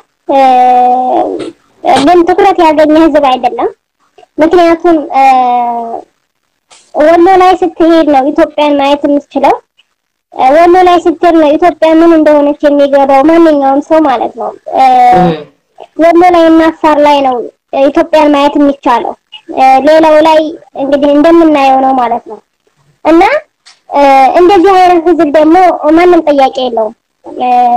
የአፋር ህዝብ፣ የወሎ ህዝብ እንደ አፋር እንኳን ይሻላል ብዬ ገምታለሁ። አሁን እንዲህ የተጎዱትን ተጎድቶ ቢሆን እንደ ቢያንስ እንኳን ትንሽ የተንቀሳቀሱላቸው ነው አንዳንዶች ማለት ነው እና ሁለት ወር እያስቆጠረ ነው የወሎ ህዝብ ተዘግቶ ማለት ነው። ክረምት ክረምት ነው።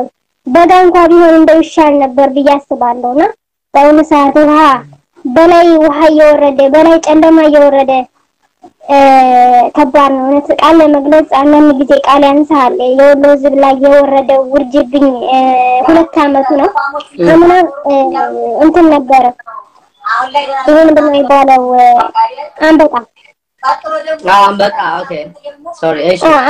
ነበረ። ምንም አዝመራ አላስገቡም። አንበጣ እንዳለ ሁሉንም በልቶታል ማለት ነው። ምክንያቱም መንግስት ራሱ ትኩረት አልሰጣቸውም ነበረ። እገዙን፣ ንብረታችን እየተበላ ነው፣ እህል እየተበላ ነው፣ እገዙን ሲላቸው ዞሮም አላያቸውም ነበር።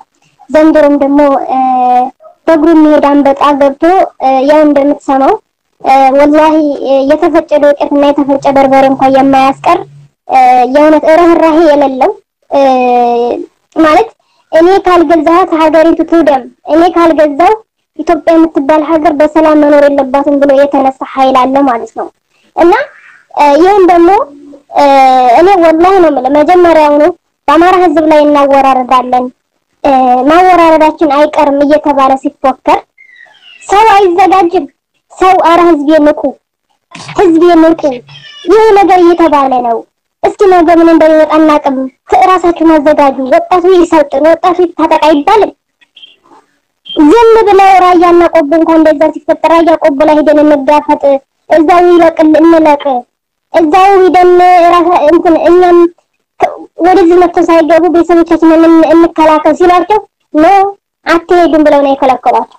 የመርሳ ወጣት፣ የወልዲያ ወጣት፣ የሌላ ሁሉም ማለት ነው።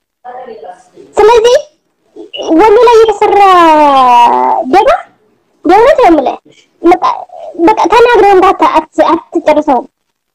ወደ ውስጥ ገባ ብለህ ስታየው እንደ ወሎ ተወላጅ ሁነህ ስታየው የእውነት ነው የምልህ በቃ ቃላት እ የሚሰራው ስራ በጣም ያሳዝናል ነው የምልህ የእውነት ነው የምለው እና እነሱም أهلا وسهلا በሩ ተከፍቶላችኋል اتفضلوا በቃ ግቡ ነው የተባሉት ገቡ። ምንም ነገር ሳያስቸግራቸው ምንም ነገር ሳይጨናነቁ መንገዱና ቤቱ ክፍት ሆነላቸው። ያው የልባቸውን እየሰሩ ነው ማለት ነው። ሲቀጥል okay ጦርነት ተከፍቷል።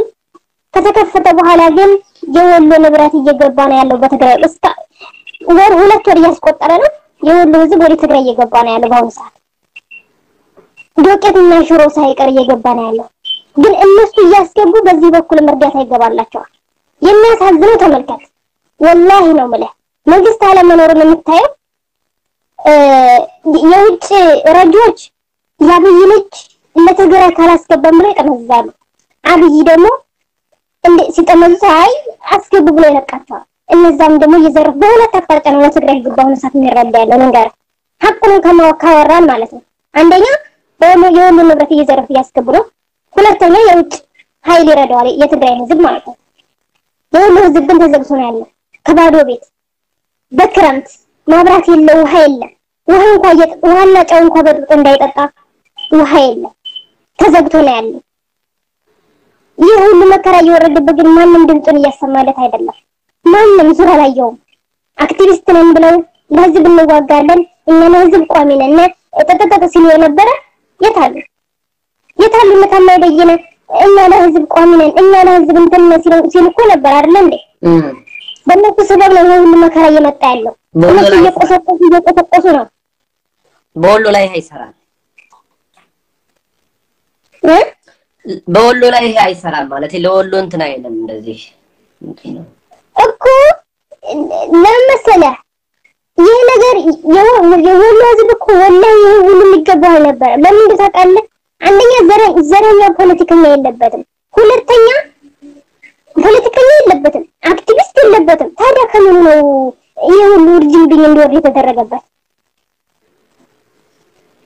ዘረኛ አይደለም። ሰውን አልገደለም፣ አላፈናቀለም፣ አላበረረም። ወላሂ ብሔር ብሔር ሄደህ ካሉ መጠየቅ ትችላለህ። ማንም ይገፋ የለም ወሎ ውስጥ በፖለቲካ ዘረኛ በፖለቲካ የምታይ ከሆነ የወሎ ፖለቲከኛ ማንኛው ፖለቲከኛ ነው? አክቲቪስት የምታይ ከሆነ የሁሉ አክቲቪስት ነኝ ያለ እስኪ ጥሩልኝ። የት አለ አክቲቪስት? ሀገር የሚያጋጭና ፖለቲከኛን የሚጠላ ማን አለ? ማንም የለም። ታዲያ ምን ሆኖ ነው? እሺ ኧረ እንጃ ብቻ አላውቅም። እኔ ህወሓት በመግባቱ ምንም እንትን ምክንያቱም ክፍት በር አገኘ። እሱ የሚፈልገው ክፍት በር አገኘ፣ ገባ። ህወሓት በመግባቱ አይደለም። ምክንያቱም እሱ ተናግሯል። እገባለሁ እገባለሁ እያለ ከአንድ አይል ሁለት ሶስት ሲናገር ዝም የተባለ የአማራ ክልል መንግስት ነው። የአማራ እንደገና ደግሞ የፌዴራል መንግስት ነው ዝም ያለው። የአማራ ክልል በቀደም አይተሽ ከሆነ ወይም ደግሞ የአማራ ባለሀብት ብለው ለአፋር ወገኖቻችን ማሻአላህ 50 ሚሊዮን ሰጥተዋል። በጣም ደስ ይላል። ለወሎ ወገኖቻችንስ ለምን አልተረዱም? ጥያቄያችን ይሄም አለ። ምክንያቱም ለአፋር ለምን አደርጋችሁ አይደለም እዚህ ላይ እኛም ለማለት የፈለግነው በደንብ ይገባቸዋል፣ መረዳት አለባቸው። የአፋር ወገኖቻችን እሱም ችግር ደርሶባቸዋል፣ ተርበዋል፣ ተፈናቅለዋል። በዚሁ በጦርነቱ ምክንያት ብዙ ተጋድሎ አድርገዋል። ብዙ ህፃናቶችም ከጤና ጣቢያውን ደግሞ ከተከለሉበት ከተጠለሉበት ውስጥ ተገለዋል። ወደ ሁለት መቶ ምናምን የሚሆን በትግራይ እንትኖች ማለት ነው ህወሓት ምንድን ነው ኃይሎች ማለት ነው። ስለዚህ ለነዛ ማሻአላ ተገቢውን አድርገው እንደውም ያንሳቸዋል። ዘብ ጠባቂ የሀገር ድንበር ጠባቂ ናቸው የአፋር ወገኖቻችን። አዎ 50 ሚሊዮን ብር የአማራ ባለሀብት ተብሎ ተረድተዋል። ለወሎ ወገኖቻችን ለምን አይረዱ? ለምን ዝም ተባሉ? የኛም ጥያቄ እኮ እሱ ነው። የኛም ጥያቄ እኮ እሱ የአፋር ህዝብ እኮ ያንሰዋል። እንደ እንደ ሰው እንደ እንደ አፋር ህዝብ ሆነ ስታወራ ያንሰዋል። በቂው አይደለም። ነገር ግን አይረዳ አይደለም አሁን አይረዳ ይረዳ። ግን የሁሉ ህዝብ ስለምን ተረሳ? ይሄ ነው ጥያቄያችን። ለምን ተረሳ ነው ጥያቄያችን። እኛም ይሄ ነው። ስለዚህ የአማራ ክልል መንግስት ወሎን ቦታውን መሬቱን ነው እንጂ የሚፈልገው ማህበረሰቡን አይፈልግም ስንል በምክንያት ነው። ዝም ብለን አይደለም። ይህን እኮ ቀደም ብለን ቀደም ብለንም እኮ እንናገራለን። ይህን ቀደም ብለን ስንናገር ምንድን ነው የሚሉን? ወሎ ልትገነጥሉ ነው፣ ወሎን ወስዳችሁ ወደ ሌላ ልትለጥፉ ነው የሚባል አፈ ቀላጤ ቃላት አለ። አይቀርም። እውነቱን ስንናገር የወሎን ህዝብ ገንጥላችሁ ወደ ሌላ ነው፣ ወደ ሌላ ቦታ ትወስዱ ነው ይላሉ። በነገራችን ላይ ይኸውልሽ፣ ቆይ ላቋር አቋርጥ እንጂ የወሎን ህዝብ ሲፈልጉ ኦነግ እያለ በኦነግ ስም ሲጨበጭብ ትናንትና አይተናል። አጣየና ከሚሴ ላይ የማይረሳ ነው። ይሄም ሽርጥ ለባሽ እየተባለ ትናንትና ምን እያደረሱበት እንደነበረ ኦነግ ገባ ተብሎ ባቲ ላይ ያደረጉትን እንትን አይተናል። ስለዚህ አሁንም እንዳልሽው የጊዜ ጉዳይ ነው እንጂ ይሄ ሁኔታ በዚህ ሊቀጥል አይችልም። የወሎን ወጣት ይኸውልሽ፣ ቆይ የወሎን ወጣት ቅድም እንኳን ሲናገሩ አሁን ቪዲዮን አመጣልሻለሁ ታይዋለሽ ኢንሻአላህ። የወሎ ወጣት ራሱን እንኳን ለማስከበር አስታጥቁን ሲል እንኳን ኖ ዱላ ይዞ ነበር የወጣው።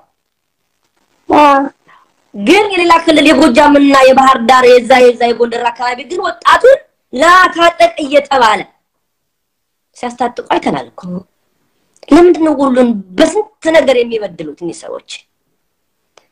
በቄው በመጣለት ይሄ እኮ በእስልምናም እኮ ራሱ የተፈቀደ ይሄ እኮ ሸሄድነት እኮ ነው፣ ጂሃድ እኮ ነው። በቄው ላይ በመጣበት በንብረቱ ላይ በመጣበት በልጆቹ በባለቤቱ በንብረቱ ላይ የመጣበት እዛ ላይ መጋደል ይሄ የሚበቃ ነው። ነገር ግን የወሎ ወጣት ግን እንዳይታጠቅ ተከልክሎ ደሴ ላይ ሰምተናል። ትናንትና ወዲያ ወጣቱ እንኳ እኛን አደራጁንና ታጥቀን ሰፈራችንን አስጠብቅ፣ ልጆቻችንን አናስደፍርም፣ አናስገድልም፣ ሽማግሌዎቻችንን አናሰቃይም ብለው እንኳ ሲናገሩ በፍጹም አናስታጥቅም ነው ያሉት። ይሄን አይተናል። ለምንድን ነው የሚደረገው? በወሎ ላይ እየደረሰ ያለው ጫና አይበቃም የሚለው ነው። ወጣሻል መሰለኝ፣ ይሰማሻል? okay። ስለዚህ ወገኖቼ እህቴ ተመልሳ ትመጣለች። እስኪ ይህን ቪዲዮ ትንሽ ውርጌሳም ነበር። ሌሊት ተቀን ገጀራ እየያዝን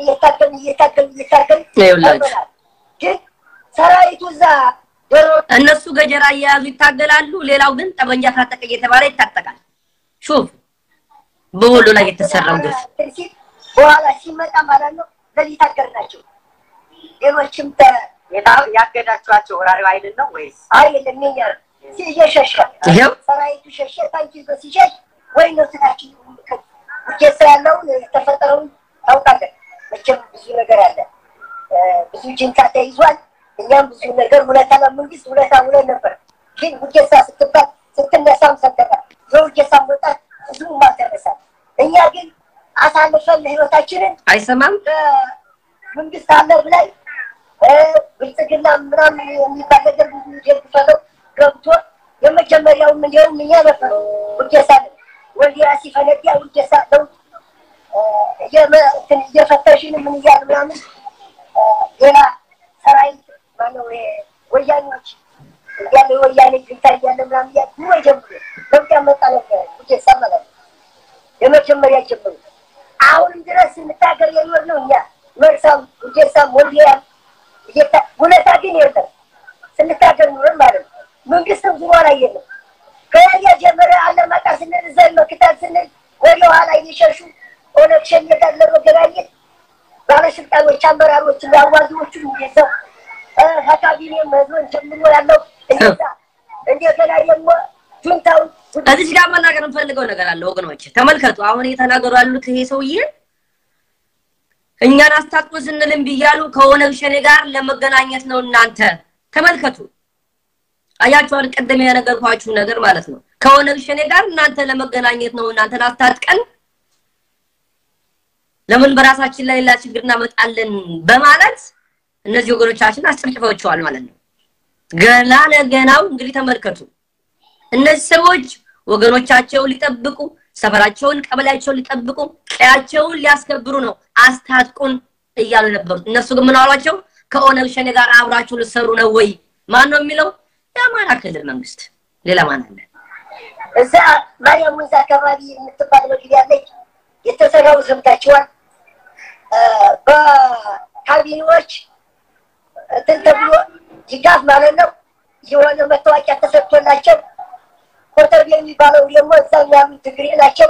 እነሱ ጋር ለመገናኘት ፖሊስ ተመድቦላቸው እንትን ነው። እንደገና መቶ ሺህ ብር አሁን በኋላ የሞተ ትላለ መቶ ሺህ ብር ለመኪናው መቶ ሺህ ብር እንደገና ደግሞ ለመኪናው መቶ ሺህ ብር ተመድቦለት ለመታወቂያ ለአሁኑ ወረዳ መታወቂያ ደግሞ መቶ ሺህ ብር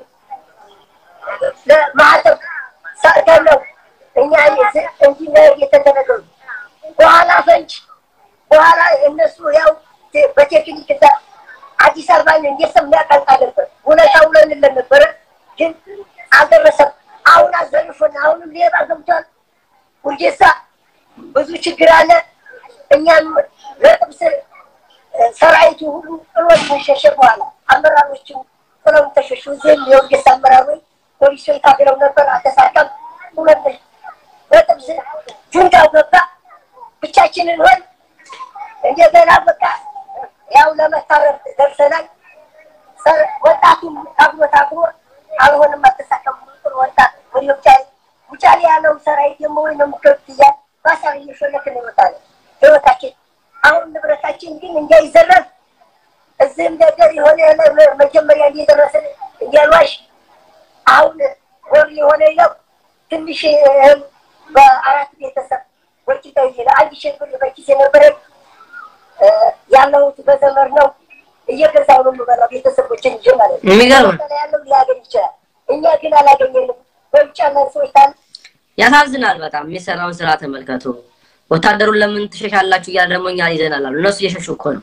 ኤኒሃው ያም ሆነ ይህ ምናልባት አይሰማም እንዴ? እስኪ ይሄን ደግሞ ትንሽ እንየውና እሴት እንጋደል ይኸው አረመኔ የመጣብን ነዛ ያለ እንዴት ነው ቁመን ቁመን ዝም ብለን እንሰጠዋለን? አብረን እንተራረዳለን እንጂ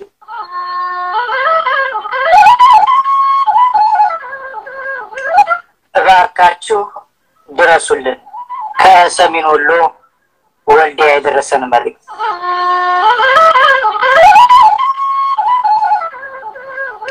ሰላም ጤና ይስጥልን። በመላው ዓለም የምትገኙና ይህንን የተማጽኖ ድምፅ የምትሰሙ ሀገር ወዳድና ሰላም ወዳድ ኢትዮጵያውያን በሙሉ ረሃብ ጊዜ አይሰጥምና እባካችሁን መልእክቱን ሸር በማድረግ ድምፅ በመሆን ሳንሞት ድረሱልን። በዚህ ወቅት በወልዲያ ሰማይ ስር ሞትና ጭንቀት አረብቧል። በቆቦ አላማጣ ምድር ጭንቀትና ፍርሃት ነግሷል። በመርሳና ሀብሩ በሀራና ሀሩር ቀጠና ላይ ሞት ኃይሉን አፍጥጦ ጥርሱን አብጥቶ ከገባ ቆይቷል። ወቅቱ ክረምት ነው። በዚያ ላይ ጦርነትና ጨለማ፣ ወዲህም ውሃና ኔትወርክ የለም። ወዲያም ወዲህም ወደ ቀኝም ወደ ግራም ወደፊትም ወደ ኋላም ጭንቀትና መከራም ረሃብና ጦርነት አካባቢውን ወርሶት ይገኛል። ሰው በላው የጁንታ ቡድን ላለፉት ሀያ ስምንት ዓመታት በዚህ አካባቢ ህዝብ ላይ የፈጸመው አፈናና ጭቆና፣ ዝርፊያና ሰቆቃ አልበቃው ብሎ እነሆ ዛሬም ደግሞ በጦርነት ወረራ ፈጽሞብን እየገደለን እና እየዘረፈን ይገኛል።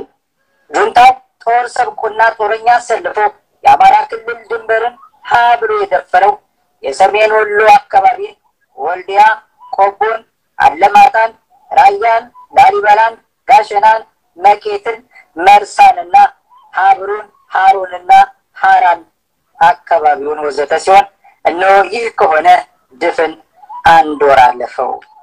በዚህም ድፍን አንድ ወር ውስጥ የወልዲያ ከተማ በርካታ ሰዎችን በሞት ተነጥቋል። ቆቦ፣ አጋምሳ፣ ጉራ ወርቄና አካባቢው ንጹሐን ሰዎች በግፈኞች ተጨፍጭፈዋል። መርሳና አካባቢው ላይ የሰው ልጅ እንደ እንስሳ በቁሙ ቆዳው እየተገፈፈ አሰቃቂ ግፍና ግድያ ተፈጽሞበታል። ሴቶች በተደጋጋሚ ተደፍረዋል። እዚህ ላይ ልብ በሉልን። ሴቶች ተደፍረዋል ሲባል ከተለመደው የመደፈር ወንጀል ለየት ያለ ግፍ ነው የተፈጸመባቸው። ለምሳሌ አንዲትን ሴት ከአስር በላይ ወንዶች እየተፈራረቁ ደፍረዋታል። በባሏና በልጆቿ ፊትም ተደፍራ ተዋርዳ ተገድላለች። ለአቅመ አዳም ያልደረሱ ለጋ ሴት ህጻናቶች በጁንታው ታጣቂዎች እየተደፈሩ ለህልፈት ተዳርገዋል። የከተማችን ወጣቶችም በግፍ በጥይት አረር ተደብድበው ህይወታቸው አልፈዋል። አረጋውያን እናቶቻችንና አባቶቻችን በእርጅና ዘመናቸው በመጦሪያ ወቅታቸው በገመድ የፊጥኝ እየታሰሩ በረሃብና በውሃ የሞቱ ዘንድ ጫካ ውስጥ ተጥለው ህይወታቸው አልፎ አስክሬናቸው በአውሬ ተበልቷል። ለዓመታት ህዝቡን ለስጋው ሳይሆን ለነፍሱ ያድር ዘንድና የፈጣሪውን ህግ አክብሮ ይኖር ዘንድ ያስተማሩ ቄሳውስትና ዲያቆናት ከነመስቀላቸው በግፍ ጥይት ተደብድበው ተረሽነዋል። መሻይኮችና ደረሶች ኪታባቸውን እንዳረገጡ በጅምላ ተረሽነዋል። ይህ የሆነው በዚሁ በእኛው በሰሜን ወሎ ምድር ላይ ነው። በአጭር ቀናቶች ነገር ግን ደግሞ እጅግ በጣም ዘርፈ ብዙ የመከራና ሰቆቃ በትር ያረፈበት የሰሜን ወሎ ግዛት ያለፈውን አንድ ወር በጭንቀት ተሰቅዞ ተይዞ ሲያጣጥር አለሁ ያሉ ለችግሩ ፈጥኖ የደረሰለት ወገንና መንግስት የለውም ቢባል ከቶም ማጋነን አይሆንም።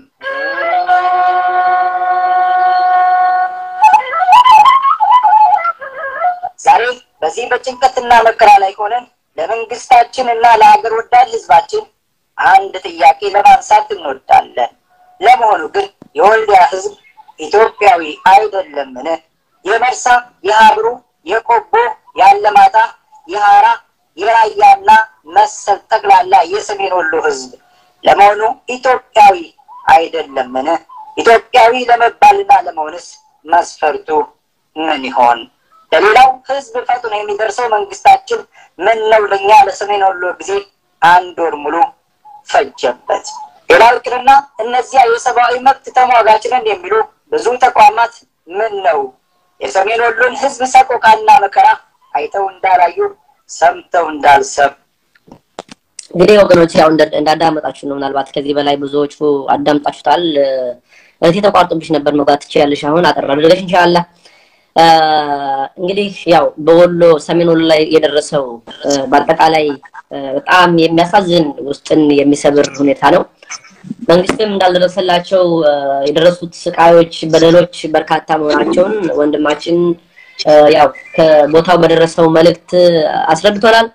እንግዲህ ያም ሆነ ይህ እኛ የምንችለውን አሁንም የሰብአዊ እርዳታ የማድረግ የማድረስ የክልሉ መንግስትም ዝም ቢል የፌዴራል መንግስትም ዝም ቢል ምንድን ነው የዓለም ማህበረሰብ ዝም ቢልም የእርዳታ ድርጅቶች እነ ዩኒሴፍ ምናምን ምናምኖች እኛ ግን የቻልነውን ያክል ለእነዚህ ወገኖቻችን መድረስ ግዴታ አለብን። በዚህ ጦርነት ምክንያት ብዙ በርካታ ወገኖቻችን አልቀዋል። ብዙ በርካታ ህፃናቶች ሞተዋል፣ ተደፍረዋልም። እንግዲህ እውነቱ ይወጣል። ሌላው የሚያሳዝነውና የሚገርመው ወሎ ማለት ያለመጋናን ሁሉ በርካታ መሻይኮች ወይም ደግሞ በርካታ አሊሞች የሚናገሩት እንደ ግብጽ የሚገኘው እስላማዊ ትምህርት ቤት አላዝሃር ተብሎ እንደሚጠራው በኢትዮጵያ ላይ ወሎ አላዝሃር ተብላ ብትጠራ ማጋና አይደለም ብሎ ብዙ ጊዜ የሚናገሩለት ቦታ በርካታ ደረሶች ከነ ኪታባቸው ኪታባቸው እንዳነገቡ ተረሽነዋል፣ በርካታ ዑለሞች ተገለዋል የሚልም መረጃ እየወጣ ነው። እውነቱን እንግዲህ ሁላችንም እናያለን። ይሄ ሁኔታ በጣም ልብ ይሰብራል። ስለዚህ እስኪ ሀሳብሽን እህቴ አጠር አድርጊና ወደ ፕሮግራማችን እንቀጥላለን ኢንሻአላህ። እንግዲህ እንደምታውቀው ያው ተነገ ያው ቅድም ብያለሁ። ምን አለ መሰለ አሁን ወሎ ላይ በጣም በእርግጥ የፊቱም ጨቆ ጭቆና አለ። ጭቆናው የቆየ ነው። ግን ምን አለ መሰለ ይህ ጦርነት ሳይጀምር በፊት ወልዲያ አካባቢ እና መርሳ አካባቢ ወጣቶች እየሰለጠኑ ነበር። ራሳችንን እናደራጅ፣ ራሳችንን እናዘጋጅ፣ የሚፈጠረው ነገር አይታወቅም እየተባሉ ሲሰለጥኑ ወዲያውን ይዘው ነው እስር ቤት ያስገቧቸው ማለት ነው። በተለይ ዋናው አሰልጣኙን ምናልባት እስካሁንም ተፈቶ ላይሆን ይችላል። ምናልባት ህወሓት ከገባ ምናልባት እስር ቤት ያው ፈቶ ሊሆን ይችላል ማለት ነው እና የሚገርም ነገር የወሎ ህዝብ ሊንቀሳቀስ አይፈልጉም። እኔ ለምን እንደሆነ አይገባኝም። እኔ ጥያቄ ብቻ ይህ ጥያቄ መቼ እንደሚመለስ አላውቅም። በቃ እኛ ያልናችሁን እንጂ የምታደርጉት እናንተ ባላችሁበት አትሄዱም ነው የሚባለው። ለምን እንደው አይገባኝም ነገሩ። የአማራ ክልል መንግስት አገኘው ተሻገር የሚባል ሰውዬ የሚገርም ነገር ወዲያ ወር ሙሉ ነው የታገሉት። ህዝቡ ወጣቱ እየታገለው ያለ መከላከያ ያለ መሳሪያ ያለ ምናምን ወር ሙሉ ነው የታገሉት ወልዲያ ላይ ማለት ነው።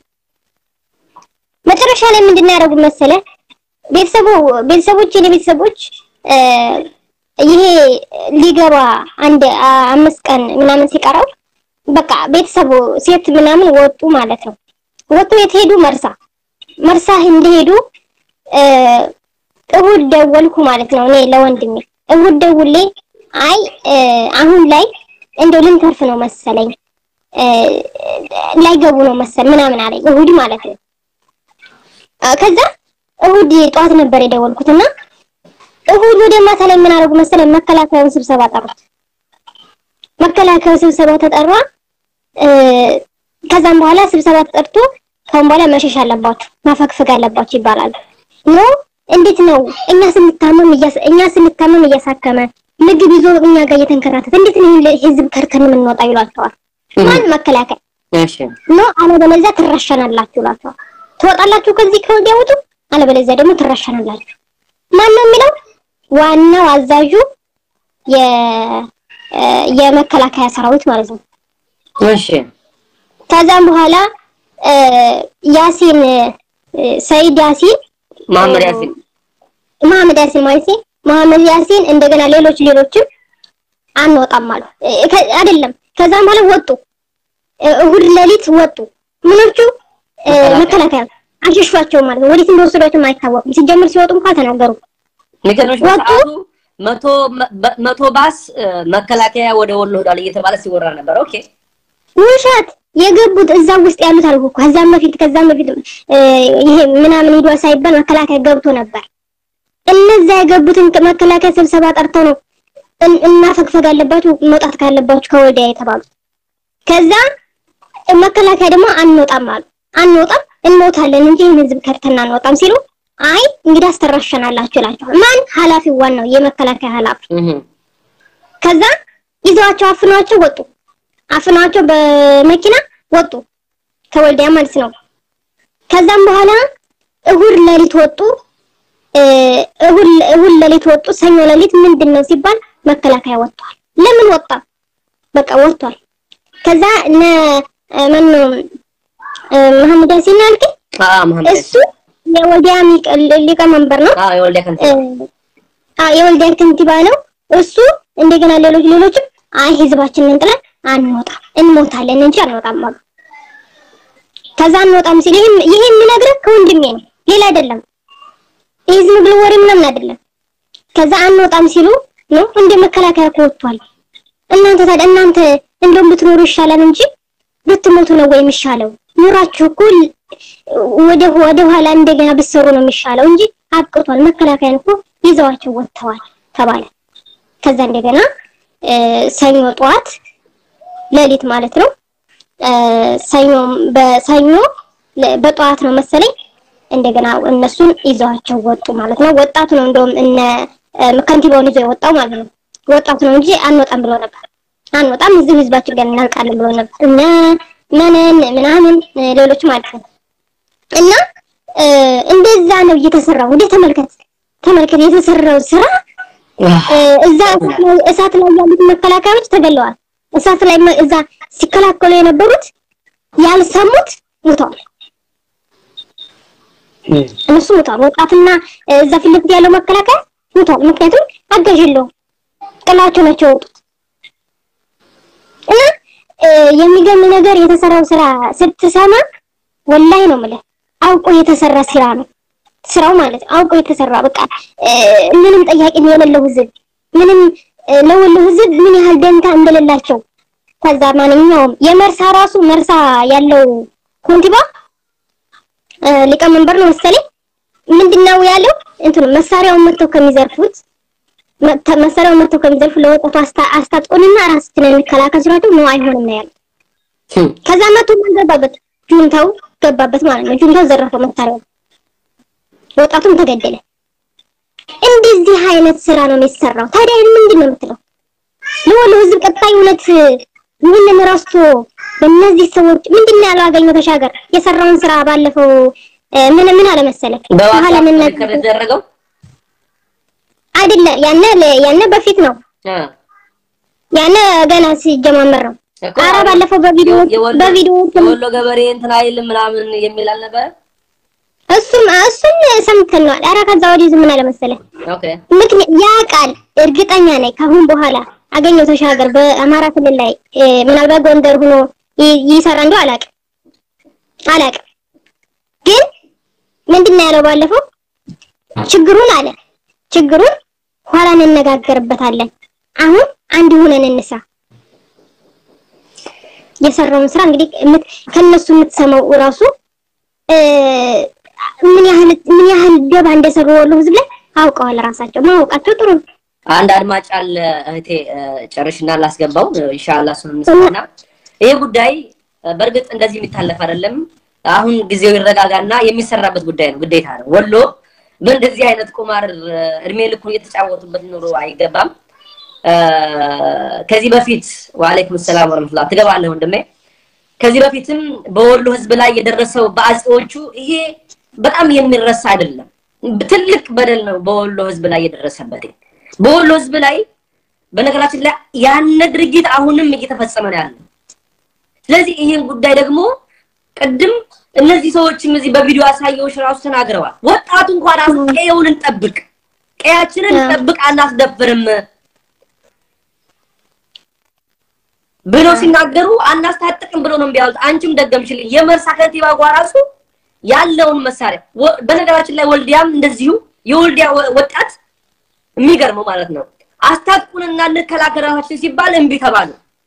እንደዚህ መንግስት መሆኑን ይታወቃል። አናስታጥቅም ብለዋቸው እኮ አናስታጥቅም ብለዋቸው እነሱ ግን ውስጥ ምንድን ያደረጉትኝ? ሰብረው ገቡ። ሰብረው ገብቶ ታጥቀዋል የሚባል እንትን የሰማ ነው። ግን ይሄ በቂ አይደለም። እኛ የምንጠይቀው ለምንድን ነው ወጣቱ ተደራጅቶ የወሎ ወጣት ተደራጅቶ ለምንድን ነው ቄውን የማይጠብቅ? ለየትኛው እንትን ነው ስጋት የሚሆነው? ምን አስፈራቸው? የአማራ ክልል ባለስልጣን ምን ያስፈራቸዋል? ይሄ ጊዜውን ጠብቆ አዎ፣ ይሄ ጊዜውን ጠብቆ የሚመጣ ጥያቄ ነው፣ አይቀርም። ስለዚህ ወሎ ዛሬ አስታጠቁት አላስታጠቁት፣ አስቀድመው መሳሪያ አስፈቱት አላስፈቱት፣ ይህ ጥያቄ ይመጣል። ወደዱም ጠሉ ማለት ነው። ስለዚህ አመሰግናለሁ። እስኪ ወንድሜን ላስገባ። እሺ እሺ አላህ አለይኩም ሰላም ድሪስ ግባ። ልኬልሃለሁ። add ብለህ ግባ። join ብለህ ግባ ኢንሻአላህ።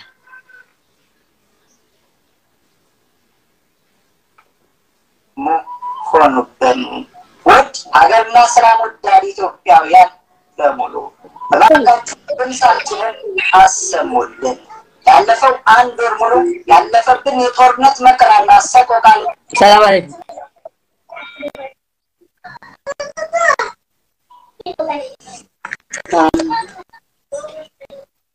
ገብተሃል ወንድሜ። ሀሳብ ካለ ኢንሻአላህ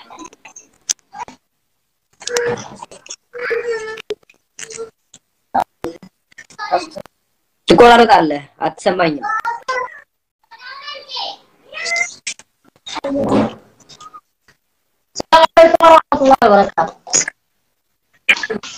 ወአለይኩም ሰላም ወረህመቱላሂ ወበረካቱ። አህለን ወሰህለን።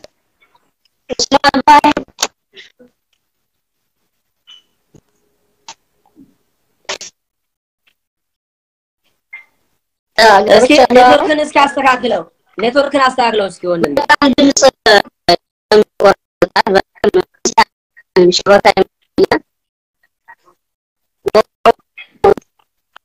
የኔ ድምፅ የኔ ድምፅ የሚቆራረጥ ነበረ።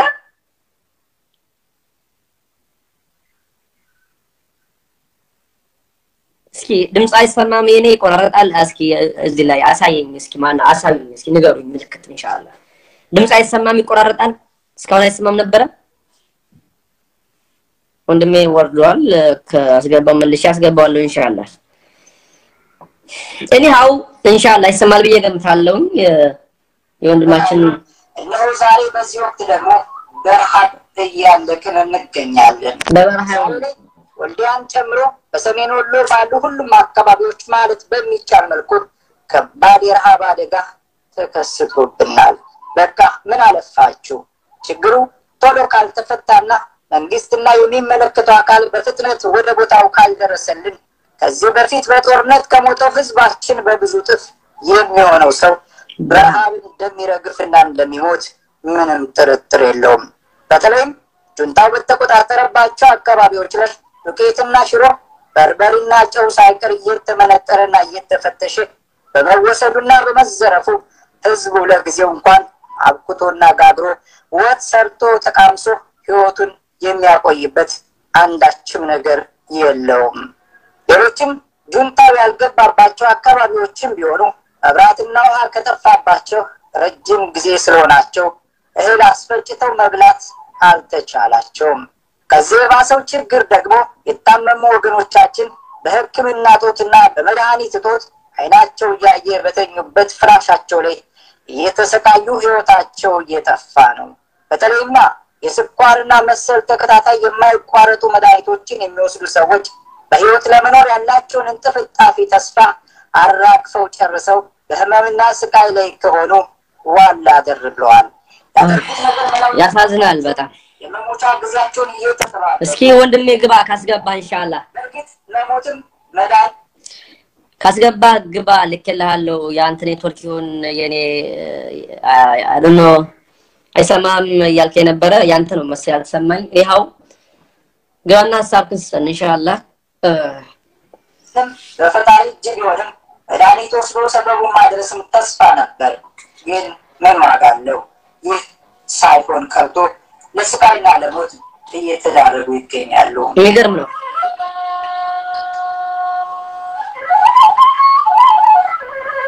እንደሚታወቀው ጦርነት ያለባቸው አካባቢዎች ለእርዳታ ድርጅቶች በራቸው ክፍት ነው። ለምሳሌ ያክልም ሰሞኑን ከመቶ በላይ መኪናዎች ወደ ትግራይ ክልል ተጉዘው ገብተው ለህዝቡ ምግብና መድኃኒት አከፋፍለዋል።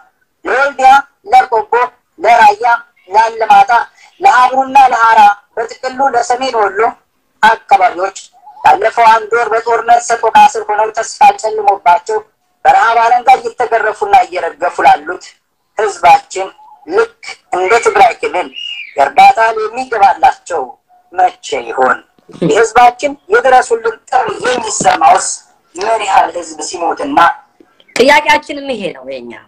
ሌላው ክልል በጦርነት ላይ ያለ የእርዳታ እህል፣ መድኃኒት፣ የተለያዩ ቁሳቁሶች እየገቡለት ለወሎ ማህበረሰብ የማይገባበት ምክንያት ምንድን ነው? ምንስ ለበደለ ነው ወሎዬ እንደዚህ የሚቀጣውስ የሚንገላታው የሚገደለው የሚዘረፈው? ጥያቄያችን ይቀጥላል። አለው ሳህለን ወንድሜ አይሰማም? السلام عليكم ورحمة الله وبركاته ወአለይኩም ሰላም ወረህመቱላሂ ወበረካቱ። ኡስማን ኢብራሂም ሰላም ነው? ደህና ነህ? ሰላም ሰላም፣ እንዴት ነህ? ሰላም ሰላም ሰላም። እንግዲህ መውዱዓችሁ በዚህ በዚህ ቤት ላይ የምትነጋገሩት ምን እንደሆነም ባላቅም ያ ስሜ የ- ለ- ምክንያቱም ለሀገራችን ሁኔታ ይመስለኛል የምትነጋገሩት አዎ፣ አሁን በ- ሁኔታ ነው። በዛ ዙሪያ ነው የምነጋገረው። በሀገራችን በአሁኑ ሰዓት ስልክ ደውል ነበረ። አሁን ያለው ሁኔታ እኛ አካባቢ ማለት ነው እና ኒኒበር መርሳ የሚባለውን ያው ባታውቁትም ሲጠራ ያው ሰምታችሁ ታውቃላችሁ። ማለምባ ኒኒበር የኛ አካባቢ ማለት ነው። በአሁኑ ሰዓት እስከ ዛሬ ድረስ ባለፈው ከሶስት ቀን በፊት ጀምሮ በመንግስት እጅ ነው ኒኒበር ምናምን ተደርምሶ በአየር ተመቶ ምናምን ተይዟል ምናምን ምናምን የሚባል በዩቱበሮቹ ኔትወርክ ምን ሆኖ ነው? ያንተ ነው ወይ ከኔ ነው? ምናልባት የኔ ሊሆን ይችላል ኡስማን፣ አረኑ ብቻ ይቆራረጣል ድምጽ። እስኪ ሞክር ኢንሻአላህ። ምናልባት ይቆራረጣል። እና እዛ መከላከያ እንዳልገባ ነው በመርሳ በኒኒበር በሱዳን ሰፈር በሚባለው እንዳሉ ናቸው። እኛ ዛሬ ደውለን በትክክል አረጋግጠን ከቤተሰብ እና የለም በአየርም አልተመታም። ባለፈው ብቻ እንደ ጉንፎ ጨፌ ምናምን በሚባል ቦታ መጥቶ ነበረ የሚባል ነው እንጂ ከትላንት ወዲያ ከትላንት በፊት ምናምን በአየር ተመቶ ምሽግ ተደርምሶ ተይዟል ምናምን የሚባል ነገር የለም። ኒኒበር በዛው በወያኔ ነው ያለው። መርሳም እንደዛው መሀለምባ የሚባለውም እንደዛው ያለው ውርጌሳ ጀምሮ እስከ ውጫሌ መከላከያ አለ ይባላል። ያው ከዛ ወደዛ እነሱም አይሄዱም ያሉት ከሊብሶ አለፍ ብሎ መሀለምባ ጀምሮ እስከ መርሳ እስከ ወልዲያ ያሉ እና ተይዟል፣ መከላከያ ገብቷል ምናምን ምናምን እየተባለ የሚወራው ከዛ አካባቢ ውሸት ነው ለማለት ነው። ስለዚህ መርሳም መርሳም እንደተያዘ ነው ማለት ነው። እዛ አካባቢ አሁንም እንደ በፊቱ ነው መርሳ አንተ መርሳ ትተው ኒኒበር የሚባለው ቦታ ኒኒበር የሚባለው ቦታ በጣም ስትራቴጂ ቦታ ነው፣ የምሽግ ቦታ ነው። ያ ካልተያዘ መርሳ ምንም እና ከዛ አልፎ መሀለምባ የምትባለዋን ከተማ እንዳሉ ነው። ከዛ ነው መሀለምባ ነው ካሉ ሰዎች ነው እኔ የደወልኩት እና መሀለምባ እንደተያዘ ነው። ያ ቦታ በእነሱ እጅ እንደተያዘ ነው። ምንም ጦርነት የለም። ጦርነት ትንሽ ያለው በሀብሩ በሚባለው ነው። ሀብሩ በሚባለው ተራራ ላይ የባቡር መንገድ ባለበት አካባቢ ማለት ነው። በእሱ ነው ያለው እንጂ መርሳ አካባቢና የኒኒበር አካባቢ ጦርነት የለ መከላከያ ሊዋጋ ቀርቶ የለም። እንግዲህ ከዛሬ ምናልባት ጀምሮ እንግዲህ ካሁን በኋላ ይገባ ካልሆነ በስተቀር እስካሁን ድረስ እንደሌለ ነው። ከዛ አካባቢ ውጊያም የለም። በጣም በእነሱ እጅ ነበር። ኔትወርክ ተስተካክሎ መልዕክት ብታስተላልፍ በጣም ጥሩ ነበር፣ ግን ኔትወርክ እየተቆራረጠ ብዙም አይሰማም። ምናልባት አዶኖ ቦታ መርጠህ ከሆነ እስኪ ካስተካከል መልስህ ግባ።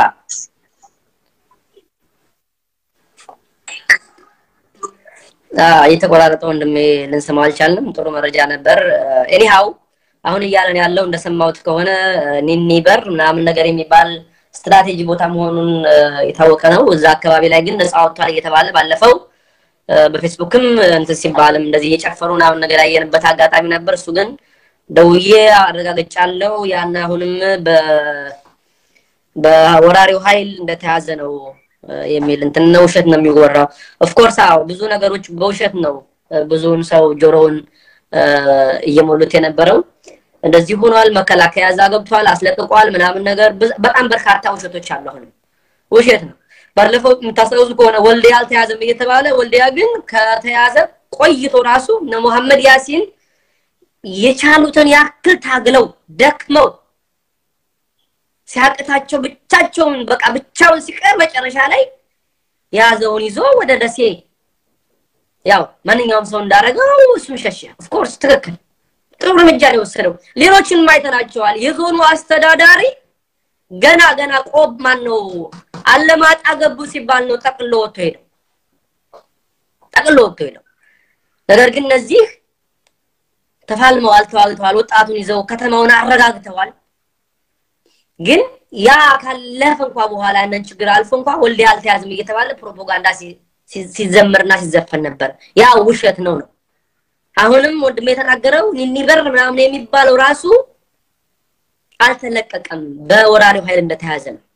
ግን ሌላ አካል የሚያወራው የመንግስት ሚዲያም ተደመሰሰ ነው። በቃ በአየር ኃይል ተመታ ምን አለ ምን ጆሮአችን ሌላ ነገር ነው።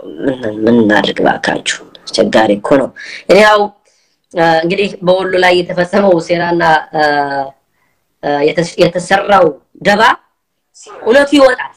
በጦርነቱ ጅማሬ ላይ ከአካባቢያችን የወጡትና እድል ቀንቷቸው ወደ ደቡብ ወሎ ደሴና ሐይቅና ኮምቦልቻ እንዲሁም አዲስ አበባ የተሰደዱ ጎረቤቶቻችንና ወገኖቻችን እም። ይብዛም ይነስም ለዕለቱ ቀምሰው የሚያድሩበት ምግብና ውሃ እርዳታ እያገኙ መሆኑ ጥሩና የሚደገፍ በጎ ተግባር ነው። ነገር ግን ለእኛስ በጦርነት እሳት ውስጥ ተከበን ውሃም ምግብም መብራትም ኔትወርክም ላጣ ነውና ከሞት ጋር ግብ ግብ ለገጠምነው የሰሜን ወሎ ህዝብ ግን መቼ ይሆን የሚደረስልን? በሀብር ወረዳ ገጠር ቀበሌዎች ላይ እንግዲህ የዛሬውን ፕሮግራም እንደተመለከታችሁት በዚሁ ልፈጽምና በሌላ ፕሮግራም ተመልሼ እንገናኛለን። እንግዲህ ወገኖቻችን በረሃብ እንደዚህ ተቃጥለው ነው ያሉት በጫካ ውስጥ። ምስኪን አርሶ አደሮችስ ለመሆኑ መቼ ይሆን የሚበላ የሚጠጣ ምግብ የሚደርስላቸው? ከመሞትስ የሚድኑት መቼ ይሆን? ምንም የማያውቁ ጨቅላ ህጻናት እማማ ራብም የሚበላ ስጭኝ እያሉ እያለቀሱ እናታቸውን እየሞገቱ የሚያለቅሱት ህጻናት ድምፃቸው ተሰምቶ የሚደረስላቸው ከቶ መቼ ይሆን? በመላው ዓለም የምትገኙ ውድ ሀገርና ወገን ወዳድ ኢትዮጵያውያን በሙሉ እባካችሁ ይህንን የድረሱልን ተማጽኖ ድምፃችንን ሰምታችሁ ድምፅ በመሆን ትታደጉን ዘንድ ጥሪያችን ይድረሳችሁ እንላለን። ሙስሊሞች በዱዓችሁ፣ ክርስቲያኖችን በጸሎታችሁ አግዙን። በእኛ በሰሜን ወሎ ህዝብ ላይ እየተፈጸመብን ያለውን ግፍና መከራም ለዓለም ህዝብ አሳውቁልን። ሀገሪቱን እየመራችሁ ያላችሁ የፌዴራል መንግስት ባለስልጣናት የሚሆን የአማራ ክልል መንግስት ባለስልጣናት ሆይ እባካችሁ ረሃብ ጊዜ አይሰጥምና ድረሱልን። በእርግጥም እኛም ኢትዮጵያውያን ከሆን በአስቸኳይ ድረሱልን። የሚያሳዝን ነው በጣም እንግዲህ መልዕክቱ ልቢና ካሉነት ለመናገር ስለዚህ ወገን ወዳድና ብዙ ወንድሞች እህቶች እንዳላችሁ ይታወቃል። እነዚህ ወገኖቻችን መርዳት አለብን። የተቋቋመ ኮሚቴ ግሩፕ አለ። ባንካቸው ሁሉ ነገር ተለቋል። ለወሎ አካባቢ ለተፈናቀሉ ማህበረሰቦች ለመርዳት ተብሎ ይህንን እንትን ሁላችንም የቻልነውን ያክል መርዳት ይጠበቅብናል። ከመንግስት የምንጠብቀው እየጠበቅን እነዚህ ሰዎች ወይም ደግሞ የክልሉ መንግስት እስከሚረዳ ድረስ ተብሎ ወይም ባለሀብት እስከሚረዳ ተብሎ እነዚህ ወገኖቻችን ሊያልቁ በረሃብ አይገባም። የቻልነውን ለወገኖቻችን እንደርሳለን። አሁንም መድረስ አለብን። ይሄ በግዴታ እኛ ላይ የወደቀ አማና ነው። ስለዚህ የዛሬውን ፕሮግራም ከመፈጸም በፊት አንድ የመጨረሻ አንድ ፕሮግራም እናገርና ጨርሳለሁ። ሌላው ሰሞኑን አንድ ማህበራዊ ሚዲያ ላይ የወት ነገር አለ። እሱም ምንድን ነው?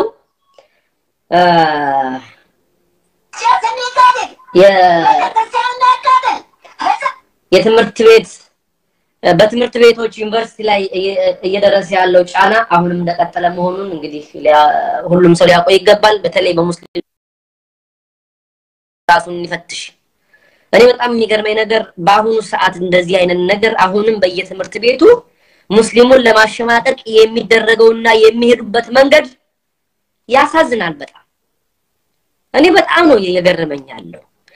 የዩኒቨርሲቲ መምህር ሁነው lecturer ሁነው ፕሮፌሰር ሁነው የትምህርት ቤቱ ወይም ደግሞ የዩኒቨርሲቲው ፕሬዝዳንት ሁነው ተምረዋል የተባሉ ሰዎች በፕሮፌሰር በምንድን ነው በዶክተር ማዕረግ ያሉ ሰዎች ተምረው እንዳልተማሩ የሆኑ ሰዎች ክርስቲያን ሆነ ሙስሊም ሆነ ጸሎትን ለምንድን ነው የሚከለከለው? እኔ ይሄ ነገር አሁንም ሊገባኝ ያልቻለ ጉዳይ ዛሬም ጥያቄ የሆነብኝ ነገር ነው። እኒህ ሰዎች ብዙ ነገር የሚያውቁ ሆነው ሳይንሳዊ ሁሉን ነገር እያወቁ ነገር ግን ተማሪ ትምህርት ቤት ምንድን ነው ለምን ይሰግዳል? ትምህርት ቤት ላይ ለምን ይሰግዳል ተብሎ ይከለከላል። ምን ችግር አለው? ፈጣሪውን አንድ አላህን ወይም ደግሞ ሌላውም ክርስቲያኑም ሆነ ፈጣሪውን የፈጠረውን ጌታውን ቢያመልክ ምንድን ነው ችግሩ? ለምንድን ነው በሙስሊሞች ላይ እንደዚህ አይነት ነገር ሁልጊዜ ጠባጫሪ ችግር ፈጠራ የሚደረገው? ይሄ ጉዳይ ይሄ ጉዳይ አሁንም እልባት ማግኘት ያለበት ጉዳይ ነው። የእምነት ነፃነት ሊኖር ይገባል። የእምነት እኛ በምንኖርበት ሀገር ወላሂ ትምህርት ቤቱ መስገጃ ራሱ አዘጋጅቶ ትምህርት ቤቱ ራሱ መስገ- መስገጃ አለው። የሚገርማችሁ በየትምህርት ቤቱ የትኛውም አካባቢ ጠይቁ መስገጃ አለ አለ የተማሪዎች መስገጃ። እኛ ሀገር ላይ ግን እንኳንም ትምህርት ቤቱ ውስጥ ሊሰገድ እንደዚህ መስገጃ ተሰርቶ ቤት ተሰጥቷቸው አይደለም ውጭ ላይ እንኳን እንደዚህ ሜዳው የምታው ሜዳ ላይ እንኳን አንጥፈው ቢሰግዱ ይገሏቸዋል፣ ያስሯቸዋል፣ ያሸማቋቸዋል፣ ከትምህርት ቤት እንዲባረሩ ይደረጋል። ይሄ ተገቢ አይደለም። ማንኛውም አካል በእምነቱ ሊገፋ አይገባም። ተማሪውም የእምነቱን መሰረት ይዞ መማር ይችላል። ለምንድን ነው የሚከለከለው? ማንኛውም እምነት ተከታይ ኦርቶዶክስም፣ ፕሮቴስታንትም፣ ዋቄፈታም፣ ሙስሊሙም ሌላም ካለ ለምንድን ነው የሚከለከልበት ምክንያት?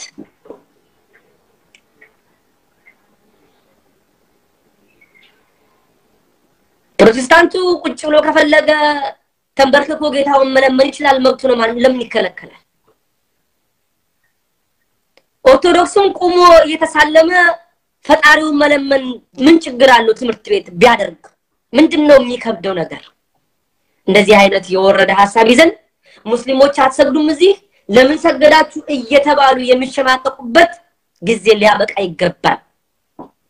ሊያበቃ ይገባል። ይሄ ይሄ ጉዳይ ከዚህ በኋላ መንግስት ራሱ ይሄንን ጉዳይ እልባት ሰጥቶ ማለፍ ይገባዋል።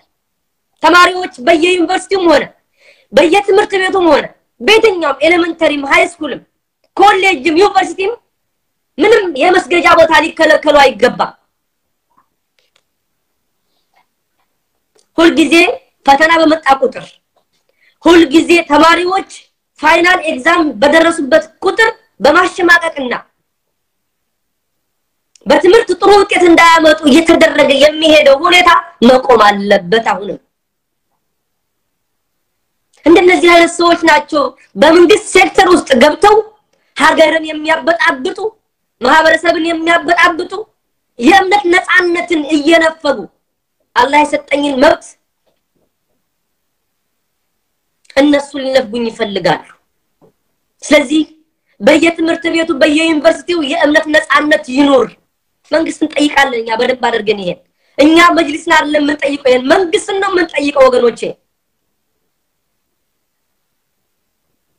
በየትኛውም ትምህርት ቤት ሙስሊሞች በእምነታቸው ጉዳይ ሊሸማቀቁ አይገባም።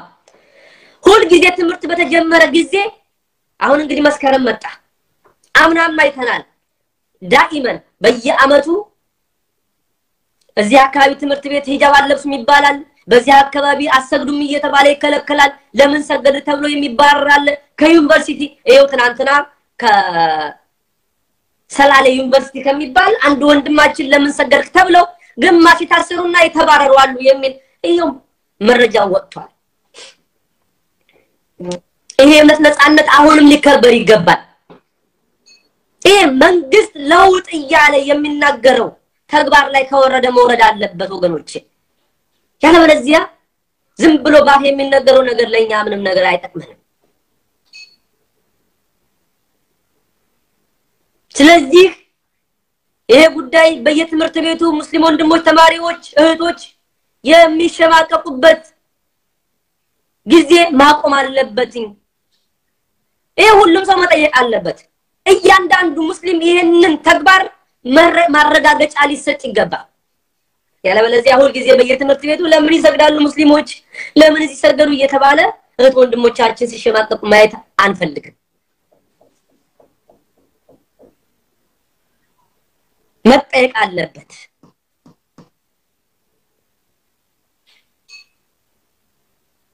መጠየቅ አለበት ይሄ ጉዳይ። ስለዚህ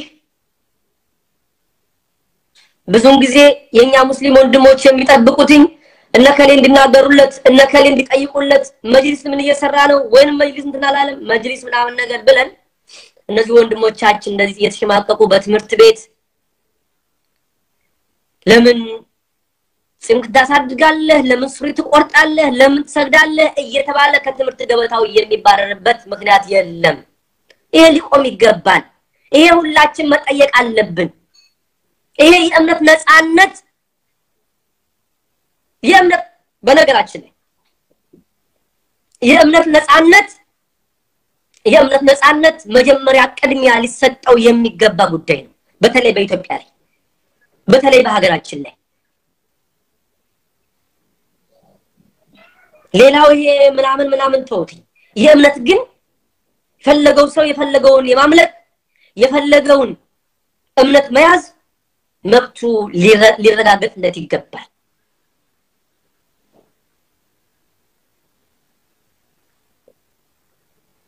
ስለዚህ ወንድሞቻችን አሁን ትምህርት ተጀምሯል። ተጀመረ መስከረም normally አሁን እየተጀመረ ነው። ዩኒቨርሲቲ የገቡ ብዙ በርካታ ወንድሞች አሉ።